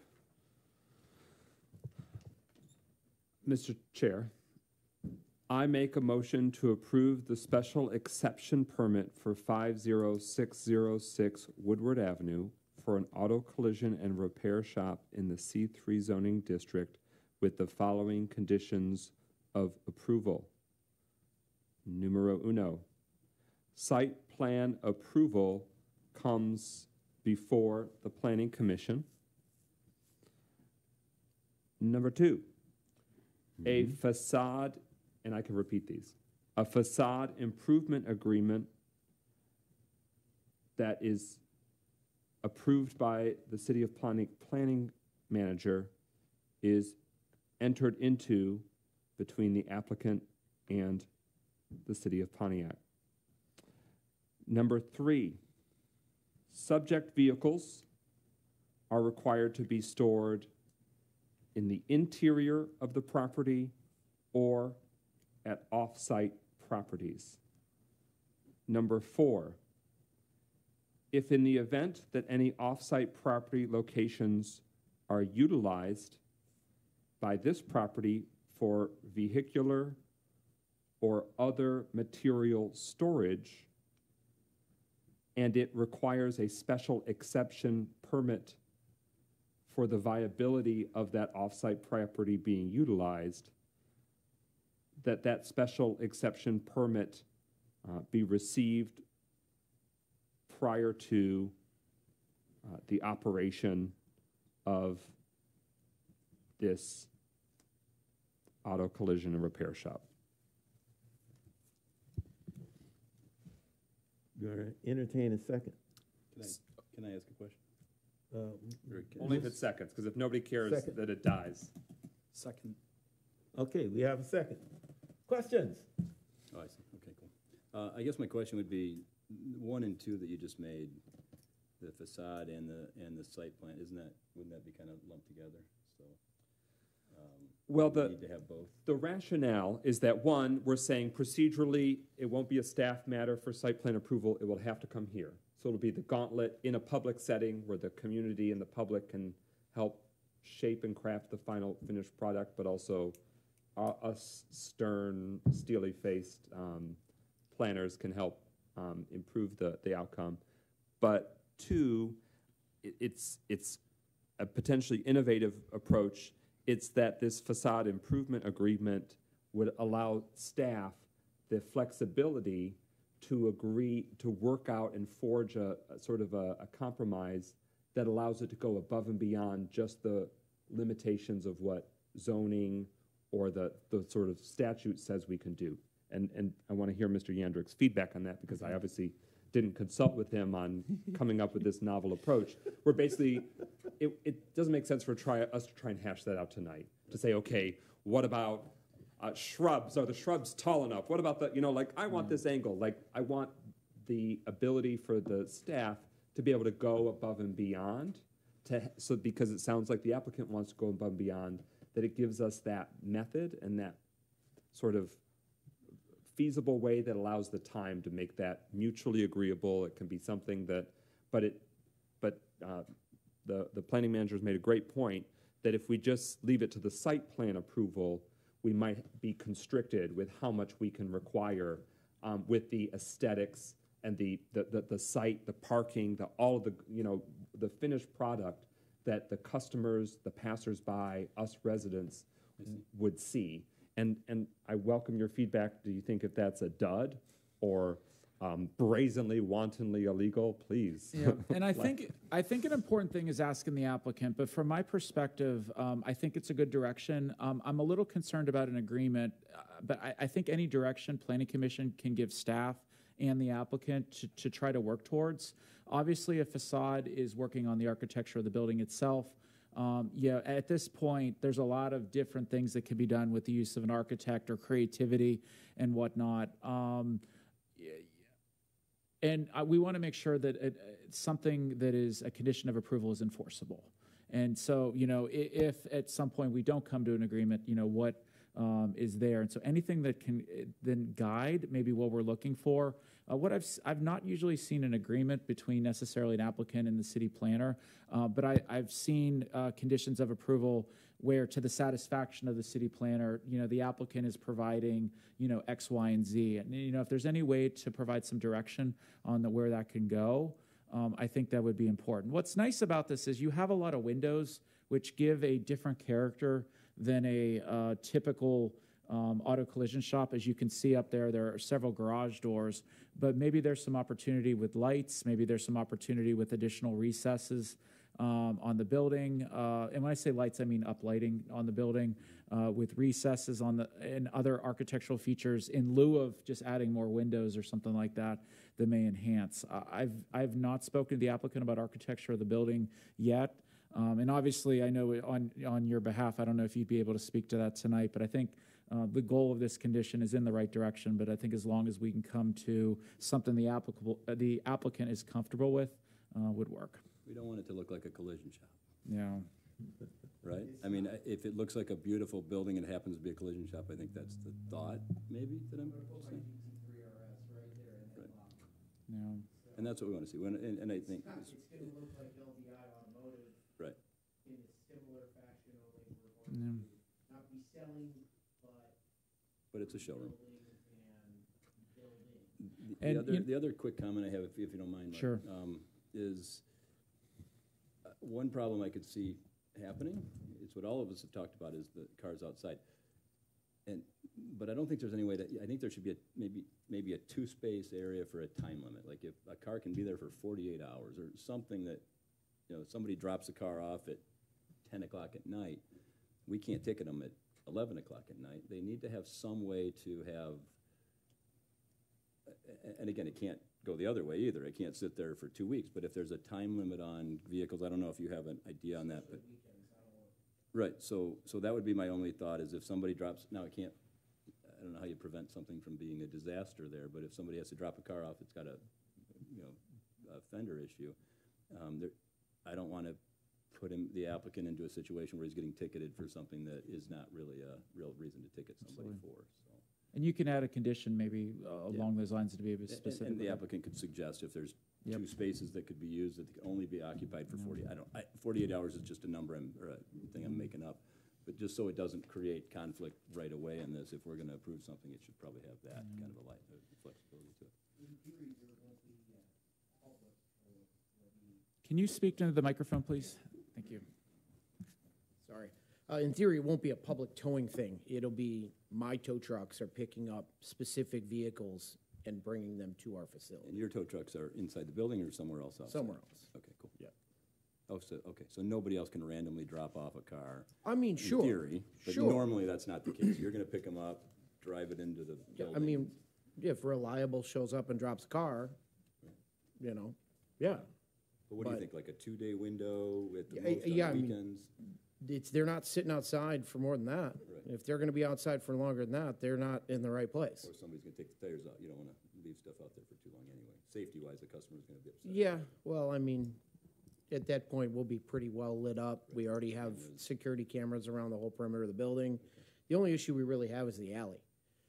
Um, that alley is not a great spot. It's, uh, my problem is the graffiti. I don't really care for it. Um, we have some issues with, um, some drug addicts, you know, and homelessness back there. Um, You'll I've- light that area up and put cameras back there? yeah, well, there were lights back there and they broke them out. Right, but that's kind of part of your, we have buildings Correct. too, you have to redo the lights and put cameras back in to make sure that doesn't happen. Yeah, yeah, I, I think that there could be a, a mutual agreement with that, that little alley back there. I don't that think I'm they sure need we to could put that come into to this, anyway. but if I were you, I'd make sure you have that thing clean, secure, and bright, so.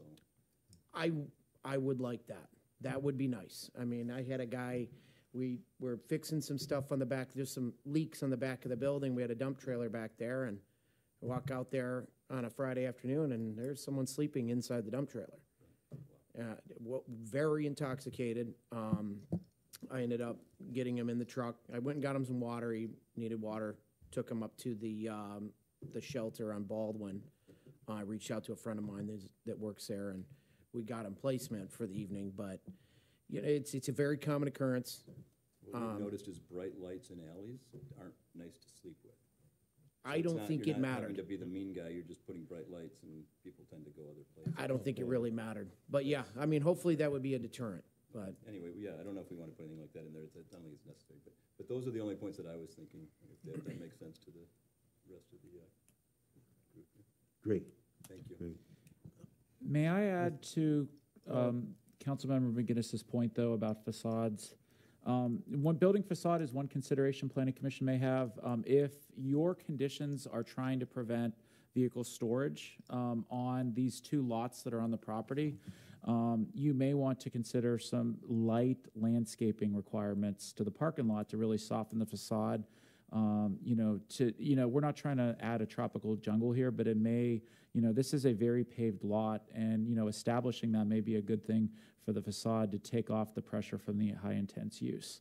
Typically with vehicle inventory lots for car sales, for industrial lots, for uh, collision places, you don't have a lot of landscaping because the trees sometimes can, you know, shed their leaves and branches fall on, on cars. You don't want that. But, you know, if this is only intended to be a temporary parking area, you know, it may be encouraged, you know, for the people that might be just sh- uh, shortly dropping off their cars. So you can ask the applicant that, but it's just something for your consideration.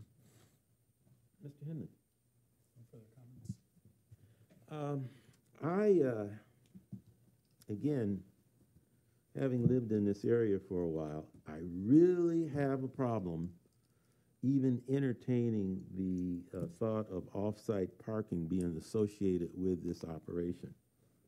Uh, the gentleman has said that all the cars will be contained within the building. I'm willing to go with that. But in terms of putting on the fourth condition, I think we're starting to bubble over into the surrounding neighborhoods in such a way that uh, I think we're going to be disrespectful to those neighborhoods and possibly injurious, injurious to those neighborhoods by having cars stored outside and then the necessary uh, fencing and other items that are taking. Because I, I, I'm just getting the sense that some of these cars will be very expensive, exotic one-off vehicles. That I would be surprised if you do park them outside. I was more referring to uh, employee parking in an adjacent lot. Beg your pardon? I was more referring to employee parking in an Employee adjacent parking. lot. Yeah, rather to leave the front spaces open. Okay, okay, that, that might work with that uh, stipulation, but Yeah. the vehicles to be worked on. We wouldn't be storing them out, out Yeah. there now. Yeah, and, and, um, so I would, I, um, just, you know, I have a problem with number four, condition number four. I really have a problem with condition number four. Uh, I, I am looking forward to that building, the uh, facade being reworked. As I mentioned earlier, it was once approved as a marijuana testing facility, and at that time, one of the deal breakers, at least for me, was the fact that we were going to see some rework of that facade. And that the uh, marijuana testing facility in itself was, would be a pretty quiet type of operation, in and out. I believe that um, the marijuana business itself has fallen off. Yes, yes. But I just give that for a background to say that, yes, I'm interested in, in something happening with that building to spruce up how it looks, to make it more inviting, especially with the anticipated rework that we have uh, occurring on Wide Track. But um, at the same time, uh, I don't want to see, you, know, the the vehicles parked outside, and I'm I'm taking you at your word. Neither that- do I. I'm not in the business of be, blight. And uh, would also uh, want to put that into the conditions. But for item number four, I would not be uh, acceptable for item number four about um, going with off-site uh, parking and that sort of thing as being part of this operation at this point in time. Uh, If I may, that's not part of this anyway right now, right? We're not approving another off-site lot. The challenge is that my motion for approval of one of the conditions, it does, it bleeds into that. And so I am open to withdrawing this motion, uh, if Commissioner Henley's up for withdrawing the second, and I can, based on this conversation, tidy it up, um, to better reflect what the, the staff and fellow commissioners have offered. So I withdraw my motion. Do you withdraw your second? I withdraw my second. All right. Before I make this next motion, here are my three points that I'm workshopping, rather than make it, second it, withdraw it again if we don't like it. So, um, Yeah, let's go ahead and do it. yeah, so it would be a, a motion to approve, um, so these are the conditions that I'm contemplating. One, site plan consideration is required to come before the planning commission for approval. In other words, saying it's not left at, because to your question, some site plans can just be handled at the staff level. They don't all come here. And, and, uh, Mr. Yandrick, what's sort of the threshold that determines what staff versus, is it basically statutory or? It is, uh, most of it is statutory. There's a little interpretation, but it has to do with the amount of improvements going on, the amount of the, of a building addition. Um, typically, the only stuff that has to go through for a site plan currently th- with no improvements is if it- a medical marijuana, and that's by another, another statute separate than the uh, zoning ordinance. So there could be circumstances Yep. where just it would come to the staff. So we're saying we're adding a higher threshold. It must, uh, as a condition of approval, it must come before the planning commission for approval. Two, uh, vehicles are prohibited from being stored outside the facility.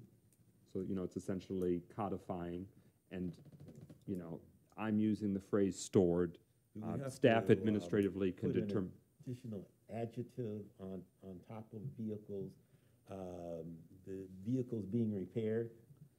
Uh, you know, Yeah, I could say subject what those vehicles. Vehicles are that we Yeah. want to limit, as opposed to a customer's vehicle Or an employee's vehicle, or an you know. employee's vehicle. Yeah. Yeah, because the site plan will probably call out so many spaces for parking for employees anyway. And we can work through a site plan process. If there is an off-site parking agreement, you know, how many, you know, that would be codified and also recorded. And so, you know, if you wanted to allow, I think it's more employees. I don't know that you want customers parking off-site. It's usually atypical uh, for something of this nature, but um, you can incorporate that into the condition. So is it adequate if I say subject vehicles, or should I say vehicles being worked on? Is that formal enough? Is there another word? I mean, client, A client, uh, Client client, vehicles? client vehicles. Client Yep. vehicles? but, Yep. Yeah, Okay. Maybe Uh, a stipulation for time, forty-eight hours, seventy-two hours being out, outside, but uh, seventy-two is a stretch. Yeah, I mean, In my stored, eyes.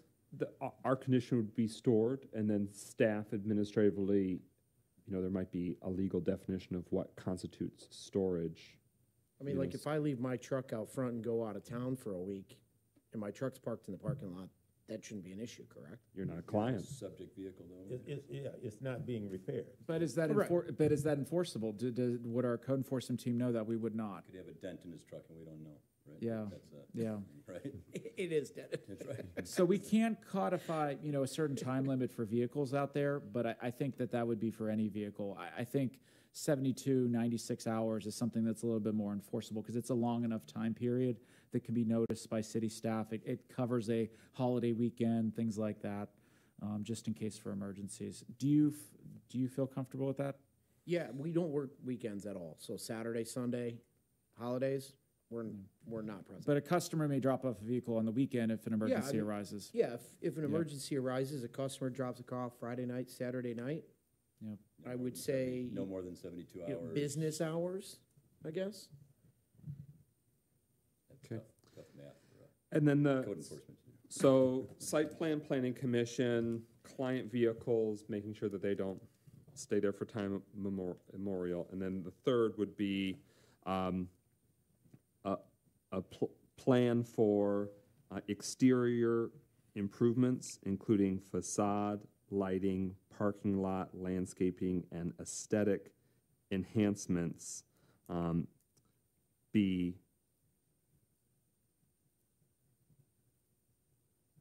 I'm using my words very carefully, um,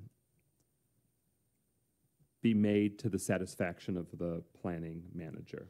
Actually, if planning commission's reviewing it, um, you know, I, I think you may have the authority, um, you know, really, um, I'm. So work- that could be something that comes to us as part of the Yeah. site It's a plan? full site plan approval. Yeah, and now that it, because you guys are, are authorizing yourself to review the site plan, you may have, you you can condition yourself to, to look at that, um, a little further. But would that give us that, that maneuverability to then I believe so. have higher, higher thresholds? Yep, because you're reviewing what I'm gonna be working with the applicant on in, in, in the site plan application process. I think to the applicant, the goal is to soften the property a little bit. Yeah, I mean, not to give up parking spaces, but if you can soften it with green space, I think is the theory, without losing your space, I think. Yeah, there's not a ton of space. The south side of the building has a row of U's, like Hicksite U's down the side of it. Um, and a very small strip of grass But- on the boulevard and on the building side. We, we welcome innovation. We welcome the way in which it would accentuate your operations, I don't accentuate the site. And we, we weren't, we aren't going to be absurd um, in saying that, Of course. hey, parking already stinks here, let's gobble up more of it um, and Right. put an evergreen. No, so there, there are innovative ways, when we say landscaping, we, we use that in a broader, broader sense. Um, But that we're basically clocking exterior improvements broadly Yep. with lighting, parking lot, facade, aesthetics, landscaping in the mix. Maybe signage, Yeah. little landscaping around the sign, flagpole. If acceptable, I, I would enjoy a nice big American flag there on Woodward. That's just me.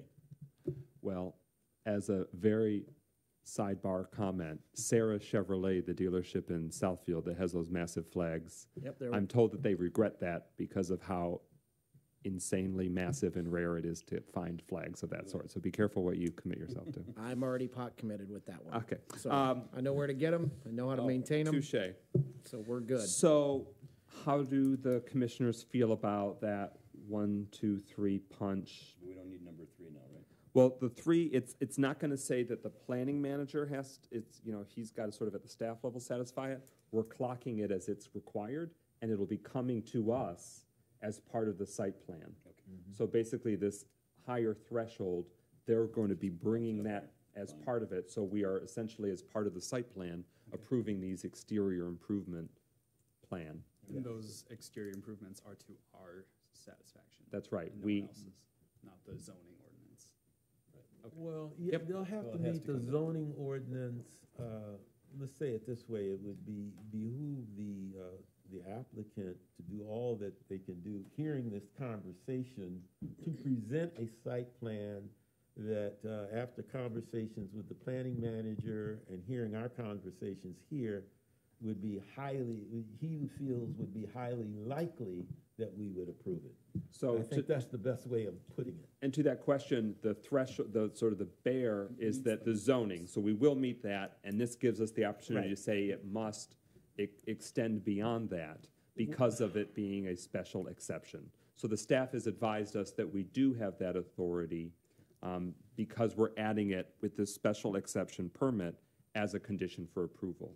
This condition for approval is our unique additional sword that otherwise we would not have as it relates to that. Uh, It allows the committee to go above and Well, beyond. the planning manager, base. uh, correct me, that, I think our intent is correct. I'm not sure the verbiage, we can be that explicit in the verbiage. I think you can be. We can be? Yeah, you Okay. can be, yeah. Only Okay. because it's a special exception. Yeah. Okay. And, Then let's know, do it. And I Then think let's it's do it. worded enough that I think you're looking for all those things, but it doesn't have to be all those things. I think it's just given direction to the applicant and, and to staff for when the site plan comes forward. So, um, you know, and I think that's where the creativity and innovation comes in. Uh, and just because there's pavement there doesn't mean it has to stay there. We'll work with you to make sure that there's proper parking, access, even turnaround in certain locations, but the whole rectangle square is not a, is, is not paved potentially, so. Got it. And I'll work with you to see how we can get a flagpole in, so. But I mean, it's, it's, other places have been invoked along Woodward, even on, along Huron, where, you know, adaptive reuse essentially for the building, where they've been able to make some really impressive acce- aesthetic improvements, essentially just with paint, or essentially just with, you know, how they are front-facing and presenting. I can think of Lori Co. on the southbound Woodward. Um, you know, they've got that sort of unique metal sculpture um, that's out there as well. But what they've done with the, the windows, the lighting, the paint, um, what otherwise would be sort of this mid-century, um, frumpy, single story, they've done a lot and it's enhanced the Woodward corridor. And I have great hope and expectation that with these safeguards in place, um, regardless of the end use, we can, we can help the applicant move in that direction because that's what the community would want. Excellent. You want to take a stab at it? Okay, Okay, Yeah. uh, I'll entertain a motion. I've got a motion. Oh, great. I make a motion to approve the special exception permit for 50606 Woodward Avenue for an auto collision and repair shop in the C3 zoning district with the following conditions of approval. One, site plan consideration must come before Planning Commission for approval. Two, client vehicles are prohibited from being stored at the exterior of the property beyond 72 hours. Three, a plan for enhanced exterior improvements, including the facade, lighting, parking lot, landscaping, and other aesthetic improvements be considered, be submitted for consideration by the planning commission, before the planning commission, by the applicant alongside the site plan. Did I do that okay? You did that well. Thank God for the stenographer. Okay. Uh, Okay, I'll entertain any questions. Second having been given. No questions. Oh, my question. Was the, uh, was there mention of a special exception permit in that motion? No, I did not. The initial motion I made previously, um, oh, I, I started it with it, but I didn't add a special, any special exception permit, anything about off-site parking or anything like that. Yeah, I, I didn't know if you made a motion to approve a special exception permit? You did. Yes. Yeah, okay. I don't know, something with, on my, on my brain there for a second. Was there a second with that motion, by the way? Yes, Okay, I thank you. seconded that Okay. motion. Hmm. Okay. Any other questions? Comments? Nope. Okay, I will take a vote. Okay. Henley, Yes to approve. Northcross, Yes to approve. Sh- uh, Commissioner Shepard, Yes to approve. Commissioner McGuinness. Yes to approve. Okay. Four zero. Give me Thank you, just a sir. second to load the next slide, and then I'll work with the applicant to, to get through the next process. Um, It is likely going to be April 4th. We'll get you in on the site plan if you're able to, to be, submit the requirements. Very well. Thank you, council. Thank you. Good luck. Okay, we're gonna take a five-minute break, uh, with the approval of, uh, my fellow commissioners. No objection. No objections. Five minutes break.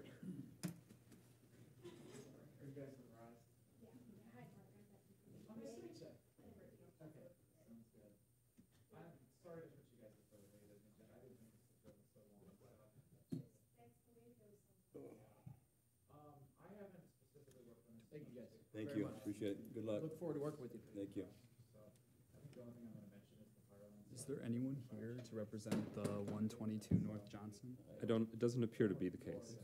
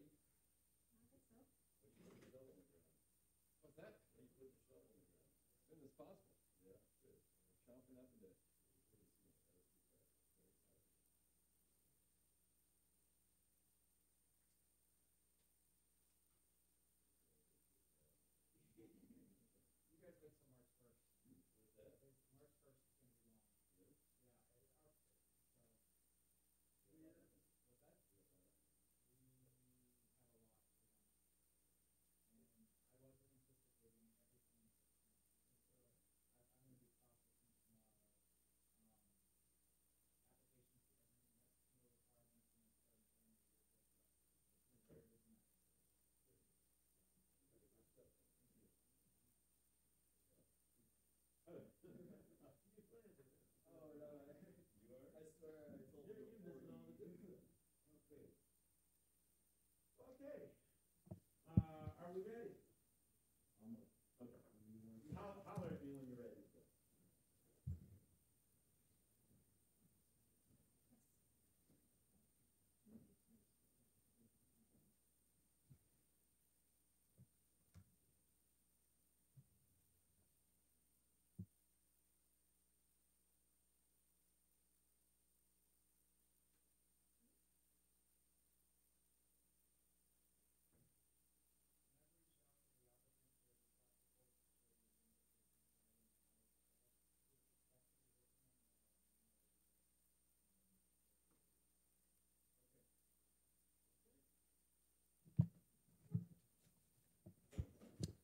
Okay, I I didn't call out what time we broke, did I?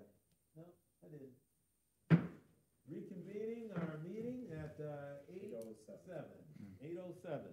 It was 8 o'clock when we went to recess. And make a note that we recessed at eight o'clock and we're reconvening at eight oh seven. For the record. Now, another public hearing. This one is for one twenty-two Johnson Road. This is also a special exec. Reconvening at 8.07. We broke at uh, 8 o'clock.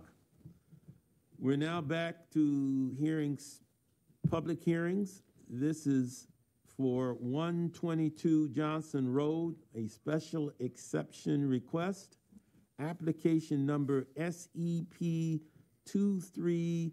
001. And I'll ask our staff to make their presentation. Okay. Planning Manager. Good evening again. I have a brief presentation. We have a, just a second here. We have a special exception application, uh, SEP 23001. It's a 122 North Johnson Road in Pontiac. The applicant is the owner of the property, Kim Young and the proposed use is a three or four multifamily uh, residential complex. And this is a manor house um, for this zoning district. I'll get into some pictures in just a second. So, um, and it, it's a request for no changes to the building, but to make it um, currently three or four units. So the property um, on 122 North Johnson has been approved previously for two units, which aligns with the zoning district. Uh, the applicant went through a remodel in 2019 uh, and, and I believe got approval from the city for some improvements to the site. Now, as part of this, uh, the building application and code team has established that there are three units here. There's actually potential of a fourth, but at this time, I think it's just for three units. Um, so, but the applicant applied for a four-unit manor-style uh, apartment for this site. Um, this is the site plan that is listed in the in the packet. North Johnson is on the left. You can see the main house, and then there's a driveway to the garage in the back, uh, where there is parking for the individuals that, that live at the site. Um, this is just highlighting some of the building elevations. These, these should be in your packet, um, just showing what the building looks like. Again, no changes are being made with this exception. It's more interior work of what is established as a unit, uh, having to do with doors and separation uh, between different parts of the building. So there are multiple entrances in the front and the back.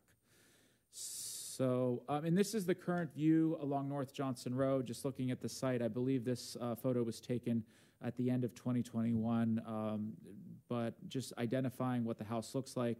A manor house, if you don't know, is an apartment complex or apartment unit that looks like a single family residential home. So um, we differentiate that between apartment buildings and manor houses in our code, and so this would constitute as a manor home. Um, I've, I won't go through this, but I, as I mentioned earlier, the special exception permit just allows uh, Planning Commission to review the characteristics of the site to see if it fits into the surrounding uh, environment um, in this case. And there are four standards of approval for a special exception. Is it harmonious with the, the Pontiac Master Plan? Is the proposed use and appearance of the site harmonious with existing and intended character of the general vicinity? Uh, the proposed use shall not change the essential character of the area. And is, does the proposed use, is it hazardous or disturbing to existing or future uses on the same general vicinity with a substantial improvement to the community as a whole? Uh, the manor house, again, keeps to make the structure appear as a single family residential home. The zoning district is designed only for two units. Um, the, if you look in the analysis, the proposed use will establish a housing density that is greater than what is permitted in the zoning ordinance and is greater than how the surrounding area is characterized with R1 and R2 properties. So a single family and, and two family uh, properties. So this change to the character of the area does not inherently imply an adverse effect, but it is unwarranted change nonetheless. So a special exception use permit is not appropriate for the proposed development. Uh, for the proposed use to be permissible, the applicant would need to request that this be cited to be rezoned R3, a multifamily dwelling district. Staff is recommending denial of the application. Um, I do want to share alongside of this, the applicant uh, was in some deep discussions with several members of the Community Development Department about what the next steps were. Um, it was advocated to her at that time, despite this denial, uh, re- denied recommendation that the special exception was a little bit more appropriate and that there would be a more challenging um, case for rezoning to R3, just based on the surrounding zoning districts, and that this request was for one little parcel in the middle of this neighborhood. So, um, and this, Johnson Street, while it's a light thoroughfare, not, it does not have a lot of traffic compared to most thoroughfares in the city. So, um, I did want to give some background information. Um, as part of uh, my staff report and agenda on Friday, I did email it to this to the applicant. I encouraged uh, her to contact me about to, to do, doing the setup for this meeting. Unfortunately, I have not heard from the applicant and uh, does not appear to be in the audience this evening. So, okay, that is my staff report. Well, I'll again start to my far left. Mr. McGuinness? No immediate questions? Uh, No immediate questions, that we can't ask the applicant any questions, so. Just to clarify, this is proposed interior changes to the existing building, not an accessory built, not a new accessory building. That is correct. Yep. That's all I have. Uh, my question is, what are those changes? Will the resulting units, uh, changes meet our, our, re- our base requirements for space and other items?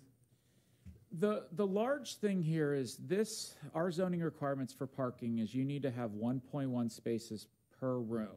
So the number of rooms is not changing here. It's, it's really a function of how the building is coordinated off for different tenants. And according to building and fire code, it is currently, it was not done with approval, and she needs approval. But in order to get approval for building and fire, she needs a zoning approval, which would allow this use. Um, really, there would not be a substantial change, while she's, it's currently, um, an un- non-conforming use. It's not, it's illegal. Um, you know, really, the change is just the fact that this is not increasing space, this is not increasing bedrooms, but it is separating out units for different tenants that are in the building. And she meets all other uh, requirements for that site. It's just, obviously, there's a little bit of a higher density, because we look, generally look at not per population, we look at the number of units per lot or uh, for a neighborhood overall. Correct me if I'm wrong, I, I thought there were space requirements for bedrooms and that sort of thing. Yeah. And uh, are we saying that she doesn't, that this property does not meet, well, let me put it this way. So we have no interior layout, we have no plans of what the interior looks like. Um, other than what's in the packet, if you want, to, and if you want to look a little further, you can. We don't have any floor plans I. I do not have any floor plans other than what was submitted. Um, and there is some detail on those renderings that, that may help. Um, the, the important thing about it, though, is that um, we do have minimum lot sizes uh, and we do have a, min- a minimum apartment areas. And I believe for three and even four units, this is a large enough house that meets those requirements for minimum minimum area for units. And I, there are, it's not that there are three or four bathrooms in this thing. Um, there are shared bathrooms, which is permitted under the code. Um, so I, I- you know, that is one differentiation here. You have different units, but there are some shared facilities for kitchen and bathrooms in, the in the, in the building. Okay, uh, any other questions, comments? I do, here- I do want to point out, I had heard from a resident um, of Pontiac who's a property owner nearby, that the notice for the, um, this public hearing, it said February first, which is today's date, but it said Monday, February first. So she didn't show me a copy, um, she called me. But so I gave her that updated and clarified information. But would it be possible, if, if it's the will of this commission, that we have a second round of a public hearing, just to give Yeah. you know, sort of that reno- renotice, and that might have screwed up the, the applicant as well, I don't know. Yep. Um, absolutely. If you'd like to table it to, for a renotice, uh, that absolutely is in order. So, I mean, we can hold the public hearing, you know, since, but I don't think there'll be any takers. yeah. Um, but, um, it might be, it might behoove us in our decision that we, if, unless the applicant, through their application, expressed dire time sensitivity, did they? No. Um, there were deadlines given to apply, um, but there, you know, on, being for the violations, but there was not a dire sensitivity to move forward.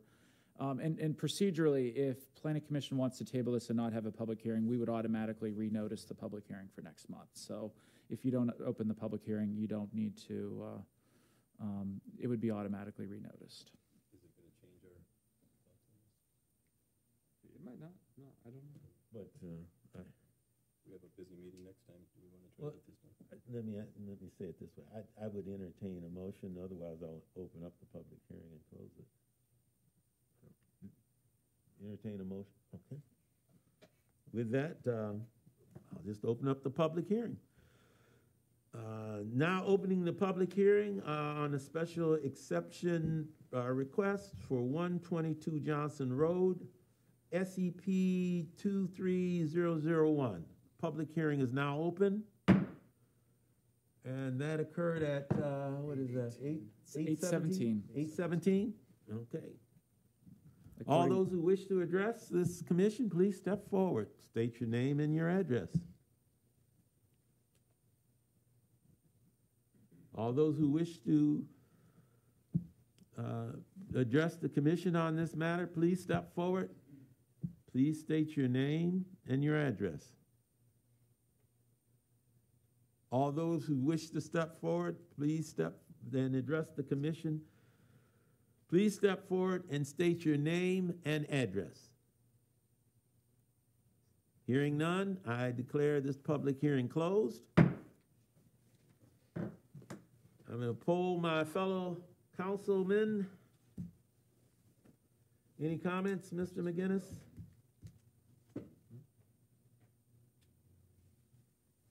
Any, any comments? Mr. Shepard? No comments till we get to the motion here, so. No comments. Okay. Uh, Then entertain a motion. Our, our motion to deny has the wrong address on it, yes. We Oh, just have to 120. change that, right? That's what you were gonna say. Yeah, I didn't know if that's what you're asking. Yeah, it just, it says auto zone. auto. You got a motion for us, Commissioner Shepard? You're much better at that. I gotta rewrite this one, right? Well, I don't know what people want to do. Do we want to approve, do we want to deny, or do we want to good- approve Uh, a condition? Should I just go ahead? Well, what do you want? Or, or table. Or, Read your motion first, though. I make go. a motion to deny the special exception permit for one twenty-two North Johnson Avenue for a three to four unit manor home in the R two zoning district with, fi- with, in the R two zoning district, Good job. period. Well, I'll second that. we have a second. Do we have any dis, yes? And if there's anything, planning commission can definitely dis, uh, deliberate on this, just one way or another on, the- that would be wonderful, so. I welcome further staff feedback on, on your recommendations so that we can have further context. Your recommendation is for, The recommendation uh, this evening is for denial, uh, just based on the surrounding land uses uh, that are there, and this is a little bit more intense um, than what has been previously presented. thank you for elevating that. I would like to deliberate on that point, that there is a great deal of density of, of housing on Johnson on both sides of this thoroughfare. Um, property very close to one another, the parcels are very compact. And uh, the, the density there uh, primarily appears to be single-family residential. Would that be what staff has deduced as well? Yep. I mean, there are some R2 properties that are adjacent to this. Uh, The homeowner actually lives in the adjacent, I'm sorry, the property owner lives in the adjacent home. Um, So there are some multi, there are some two-family unit, uh, houses on that street, but other than that, there's a lot of single-family residential homes. And so for that perspective, um, it, it, it, it appears incongruent with the existing, um, property uses in this, uh, concentrated subject area. That concludes my deliberation. But it sounds like Commissioner Henley has a point. Uh, I just want to point out that in the report that it also states that the building does not currently meet fire code. Um, and that giving an, a special exception permit would do nothing to remedy that. Excellent point. Thank you for elevating that. Mr. Okay, Shepherd? for me. Yes, I, I too share the same concerns that the uh, staff has brought up. uh, And uh, yes, I don't see a special exception permit being um, appropriate at this time for those reasons. Okay, that uh, takes care. Any any other questions? Hearing none, I will take a vote. I think we've had the motion. Yes, we take a vote. Commissioner Northcross. No to, and that is uh, a no to deny. Yes to that. Uh, that's a yes to deny, but a no on the motion. Commissioner Shepard. A yes to deny, correct? Commissioner Henley. Yes to deny. I should have said yes to deny. Commissioner McGuinness. Yes on the motion, which is to deny, so yes. The motion passes four, nothing for denial. And just for the record, I was, I, my intent was to deny the motion, so I should have uh, I, I meant to say yes, to deny, as opposed to the no that I said. No meaning not to approve. Yes to deny.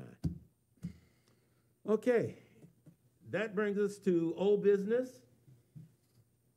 which is a site plan for 951 Vanguard Drive. And this is the Rise Commercial District, Jeremy Hayes.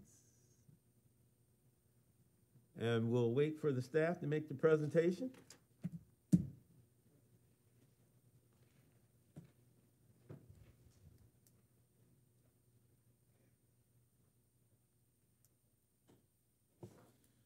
Good evening. We have a uh, final site plan uh, before you this evening.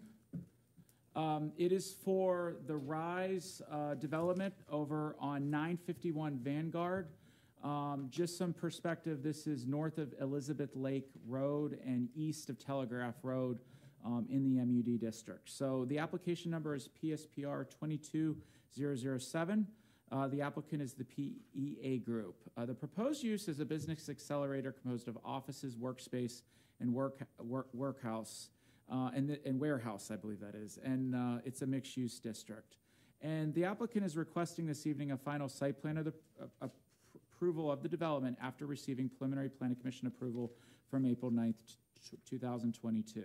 Now, not everything uh, that comes before planning commission and preliminary site plan does come back for final site plan, but this uh, statutorily is a large enough project that did require to come back. And I do want to thank the applicants. Uh, They really have gone a long way. There have been a couple rounds, um, but I can, I can share with the other agencies that do the review um, that they've made some significant progress. So um, the two exhibits up here are just showing the site, um, which is uh, centered off of the cul-de-sac off of Vanguard Road. And then you see some single-family residential homes that are being built from that mixed-use development to the south.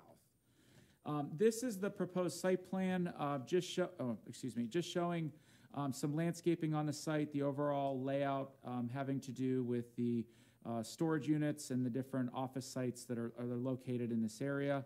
Um, And the mixed-use district approval did allow for some compactness with this um, and some varying uses within that district itself. So I'll let the applicant speak to this a little more. Um, I do want to share um,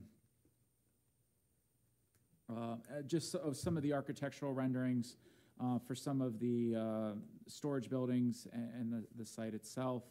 There are three standards of approval for a final site plan. Number one, the proposed final site plan is consistent with the approved preliminary site plan in terms of building location, architecture, amount of quality of landscaping and site details, including but not limited to lighting, parking signs, and cir- circulation layout. Number two, all conditions imposed during preliminary plan approval are met. Uh, Three, the engineering requirements applicable at the final site, site plan approval are met. So um, the only issue that you may see within your staff report has to do um, with the, uh, the planning consultant really thought that there might be some concern. The parking is given on site, um, that, but the area between some of these buildings are really tight. And, you know, the possibility of people parking their cars next to their storage facility instead of parking the parking lot, it is a real possibility. But in further discussions with the uh, Waterford Township Fire Department, um, they have signed off and they're okay with the uh, layout as proposed. And, and, and, you know, they're thankful for the other modifications that have been made to the site. So um, staff's recommendation on this is that uh, recommendation of approval of the final site plan with the following one condition. The applicant must receive necessary zoning, building, and other permits directly from each agency for the construction documents ahead. So um, with that, I'm going to cede the floor uh, to the applicant and uh, let me know if you have any questions. Ah, if you'll please, please step forward, uh, the applicant, hear your comments. Please speak into the mic, state your name and your address. Thank you. Good evening. My name is Becky Klein uh, with PEA Group. Address is 58105 Van Dyke in Washington Township, Michigan. Here on behalf of Rise Commercial District, um, as Mark said, that we are here for final site plan approval on a project that you know we've been working on with the city for over a year now, and I think we finally got in, got it into a place where everyone is relatively happy with it. Um, the intention of this development is to enable small business owners a place to start and grow their businesses. So while uh, it does have the appearance of a self-storage facility, it will not operate like one. Um, the buildings that are closer to the roadway will have a, a facade that's architecturally pleasant. There will be a public parking area out front. The units towards the rear, away from the public view, will be, they will look more like an industrial building. And those units will typically be used by small businesses that don't have a public interface. You know, a, a plumber might store equipment in there and park his van at night, um, or another business of that type. So uh, while there, the, the planner did mention there's some concern with having vehicles parked in there, by and large, there won't be a lot of vehicles parked in the interior of the uh, units over any length of time, possibly overnight or over the weekends, but you will not have a lot of traffic to the interior of the site parking. So it should not be a big issue for the fire department. I think that's why they came back and said they were they were good with the the revised layout. Um, so yeah, I'm here to answer any questions regarding the site layout, civil elements, landscaping, and we have a gentleman here from Rise to talk about the business operation itself if you have any questions. Would ask poll my commissioners for questions. I want to thank Ms. Klein uh, and the representative from RISE for being here uh, and investing the time tonight, but also for what you presented for the preliminary site plan uh, presentation that was very illuminating and very helpful. I reported that out to the entire Pontiac community as, and consulted with the city council person who represents this subject uh, area. And uh, I think it is uh, a benefit to the community overall. I think it will be a, an economic development asset. I'm grateful that for your first Michigan location, um, you have chosen Pontiac, Michigan. You have chosen very wisely. And uh, I think that this will be a very effective site uh, for many uh, local entrepreneurs and operators. I, I think that for those that are Pontiac residents or in the Pontiac vicinity, um, this is of great benefit. And I, I, my primary question is if I am on in the Stonegate subdivision, I can't remember if that's Lydia Lane or, or uh, Congoni, that if I am on that sort of um, residential street, um, the, the view that we're looking at now sort of cuts it off a little bit, but there are multiple um, single family residences that are existing and there are additional that are being constructed. So there seems to be a, based on my familiarity with the neighborhood and the topographical change, that there is earth, a berm of earth, as well as natural um, screening and landscaping. I just would like to get a sense of sort of the finished product of what, if any, is visible from you know street surface level to that um, residential street if they were looking northward um, at the at the area in question. Uh, yes, I can speak to that. So that is Arusha Drive back there that's parallel with the southern boundary of this property. And there is a very large berm there um, presently, and it has some landscaping on it already. Uh, so our development will actually be on the downhill side of that berm, and it is low enough that most of these building roofs will actually be at or below the crest of that berm. So you will have mostly a solid wall, wall of earth between you and uh, the visibility of our property if you're on Arusha Drive. If you're in one of the houses that gets built there on the north side of Arusha and you're on the second floor, you'd be able to see over the berm into the facility. But there will be substantial plantings uh, and trees that will be going in there along the top of that berm, which will help to screen it. And as they come into maturity, it'll be fairly opaque. Okay. So it, it should not be an eyesore for the neighbors in any way. Thank you for that answer. Nothing further. Thank you. I, I liked what they brought last time, and this is just a, a nicer version of that.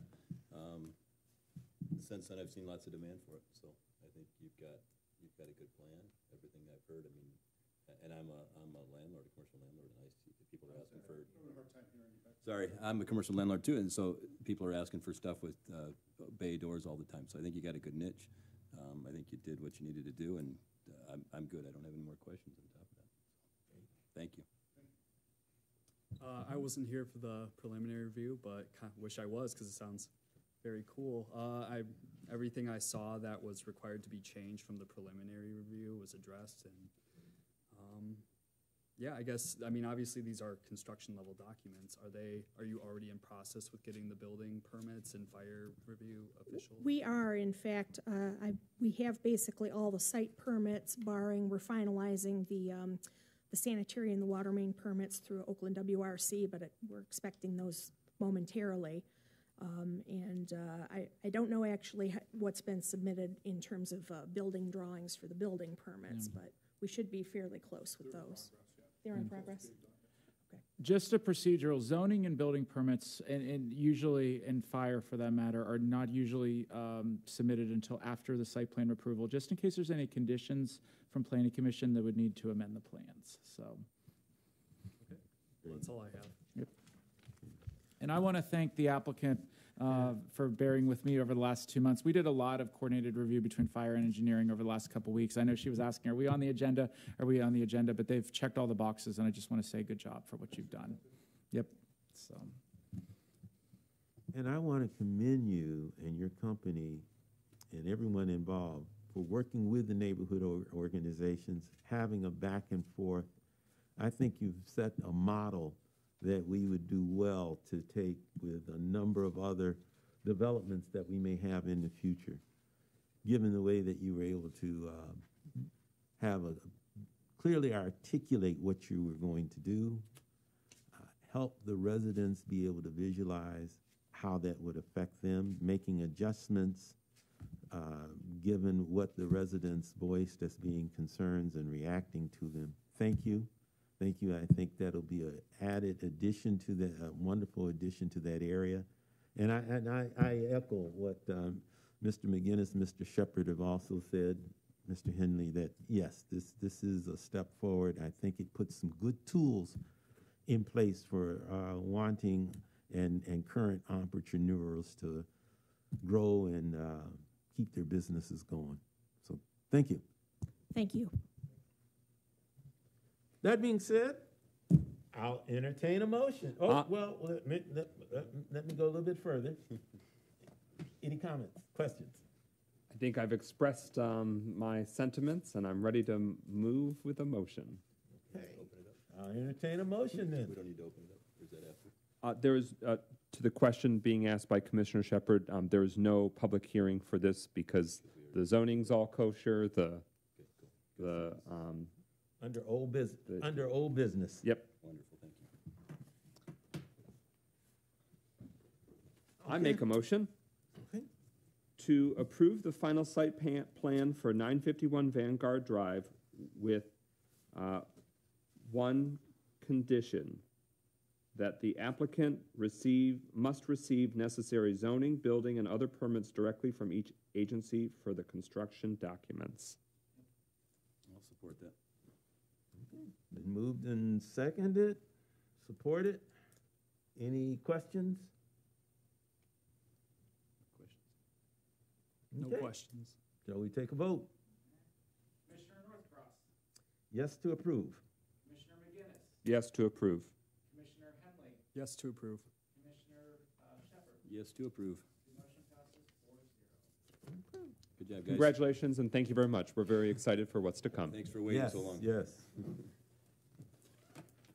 Okay, next we'll move on to new business, which we have none. Okay, public comment. Uh, well, I do have a public comment, if I may. This is uh, more in the line of an announcement. This is for the Optimist Club's Chili Cook-Off, which will occur Saturday, March 4th at the VFW Hall, 1370. That is at 800 Cesar Chavez. Uh, this is a good time to hook up with old friends, meet new friends, and see who has the best chili in Pontiac. And I have tickets. Tickets are $15 a piece. That is my public announcement. I hope to see everyone come out on that Saturday, March 4th, for some good chili, good friendship, and who knows what else. Any other uh, public comments? I have a public comment that's essentially an inquiry for staff. Has a, a consensus been reached on a special meeting for later this month, or uh, schedule still being considered? Under staff communications, I'd be happy to speak Oh, about that. I retract my staff, my uh, public comment slash question, and look forward to that communication. He- Hearing none, we move to staff communications. Okay. Um, thank you for uh, everything tonight. Um, obviously, this is the first time you've seen Dick Carlisle's work um, in just doing staff review, and I'm going to work with them to enhance um, some of the uh, some of the analysis, some of the reporting, as they're getting more involved in our code on a te- on a temporary basis until we get staff involved. We have begun interviews, and I'm very excited to to continue that interview process to get a team uh, together. I did do a polling. I did not hear back from every planning commission member, but I did hear from most today. Uh, while a quorum is reached, between the fact that there's barely a quorum and the fact that um, we, in talking with our legal counsel about our plan of action at a staff level to go from where we're at from last week's meeting to where we want to go for the uh, for the ordinance and the associated documentation, such as the staff report we need to make sure that our ordinance is, is ready and available to the public when that public hearing is noticed and, and if any uh, public notifications are made. And, and because of that, we have actually certain steps and game plans to work together for that. So for those two reasons, um, we are, uh, staff is going forward with the marijuana adult use zoning ordinance uh, before Planning Commission on March 1st. We are not um, holding a special meeting this month um, just based so we can make sure that what we bring together is a quality product that addresses the, I think, what has been discussed at, at the previous public hearing um, and also with City Council and also addressing some of the conversations that City Council has had. So um, there will be a public hearing on that uh, that evening. It will be advertised, and we, um, as I mentioned earlier, there we do have a very full agenda um, for March 1st. Um, the marijuana will likely be the first um, item on there, but um, we will. I'll work with the chair to uh, be able to get that um, meeting in place and that meeting agenda in place uh, for, for things that are there. And for the applications we have received. Um, at a staff level, we are reviewing the submittal requirements over the next day or two to certify, hey, this meets all the requirements to actually get on the agenda. Um, some of the items may come forward for actual a case, and some of the items may be informational session. Uh, it some of these are depending on if they're meeting the requirements or not. If there's the need for six, seven conditions, then that's going to go forward informational with our new process. But uh, if there's something going forward that looks like there's no conditions or it's a very minor condition, um, staff's going to recommend that go forward for an actual case. And so I've explained that to the applicants that are going through that process. Um, I, with the idea that most applicants are coming forward informationally first and then 30 days later coming back um, for a site plan. Um, we do have several um, medical marijuana uh, businesses that are looking to go through a site plan process, and so um, that is expected to be on the docket for that March meeting as well. So, um, with that, that is my report. Uh, Question, you mentioned new process. Is there a flow chart for that process that we can view? That is being created, so. Thank you. And this is specifically for site plan, so nothing's being modified with other applications, but it's just to create a cohesive process, I think, for the applicant to make sure things move along quickly, but not too quickly that we get these very involved cases. We want to make it easy for planning commission and the applicant during these cases to be able to give you a, a full staff report even ahead of time, and, and let's discuss the pertinent issues that are there. Um, and then give them enough time if any revisions need to be made, and not give them like a week or two, you know, um, to give them enough time. But we are creating that, um, and I think what's going forward is a, a little bit of a pilot for some of these initial applicants. So, So all, of the um, flow charts and process uh, diagrams we've had before about building uh, permit application process and all of, those are still in place? Yep, those are still in place. Great, Yep. great. Okay, just, just this other process. Yep. Good.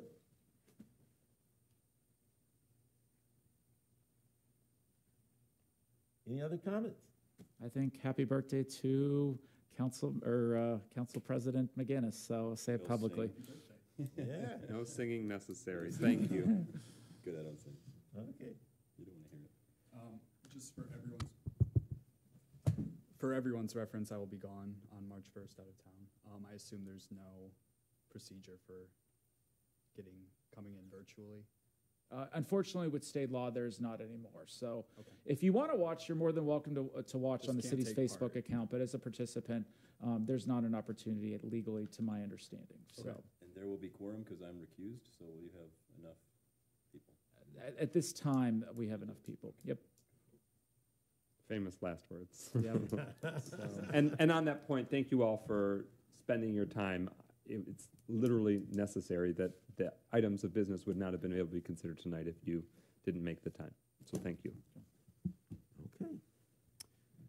Well, what's the old saying about the wheels uh, grinding slowly but grinding exceedingly fine? With that, uh, any other comments? No comments from me? Then I will entertain a motion to adjourn. Motion to adjourn. Support. Okay. Meeting adjourned. I don't think we have to vote on that, do we? Sure you do. We all vote yes? Do we vote yes? We all vote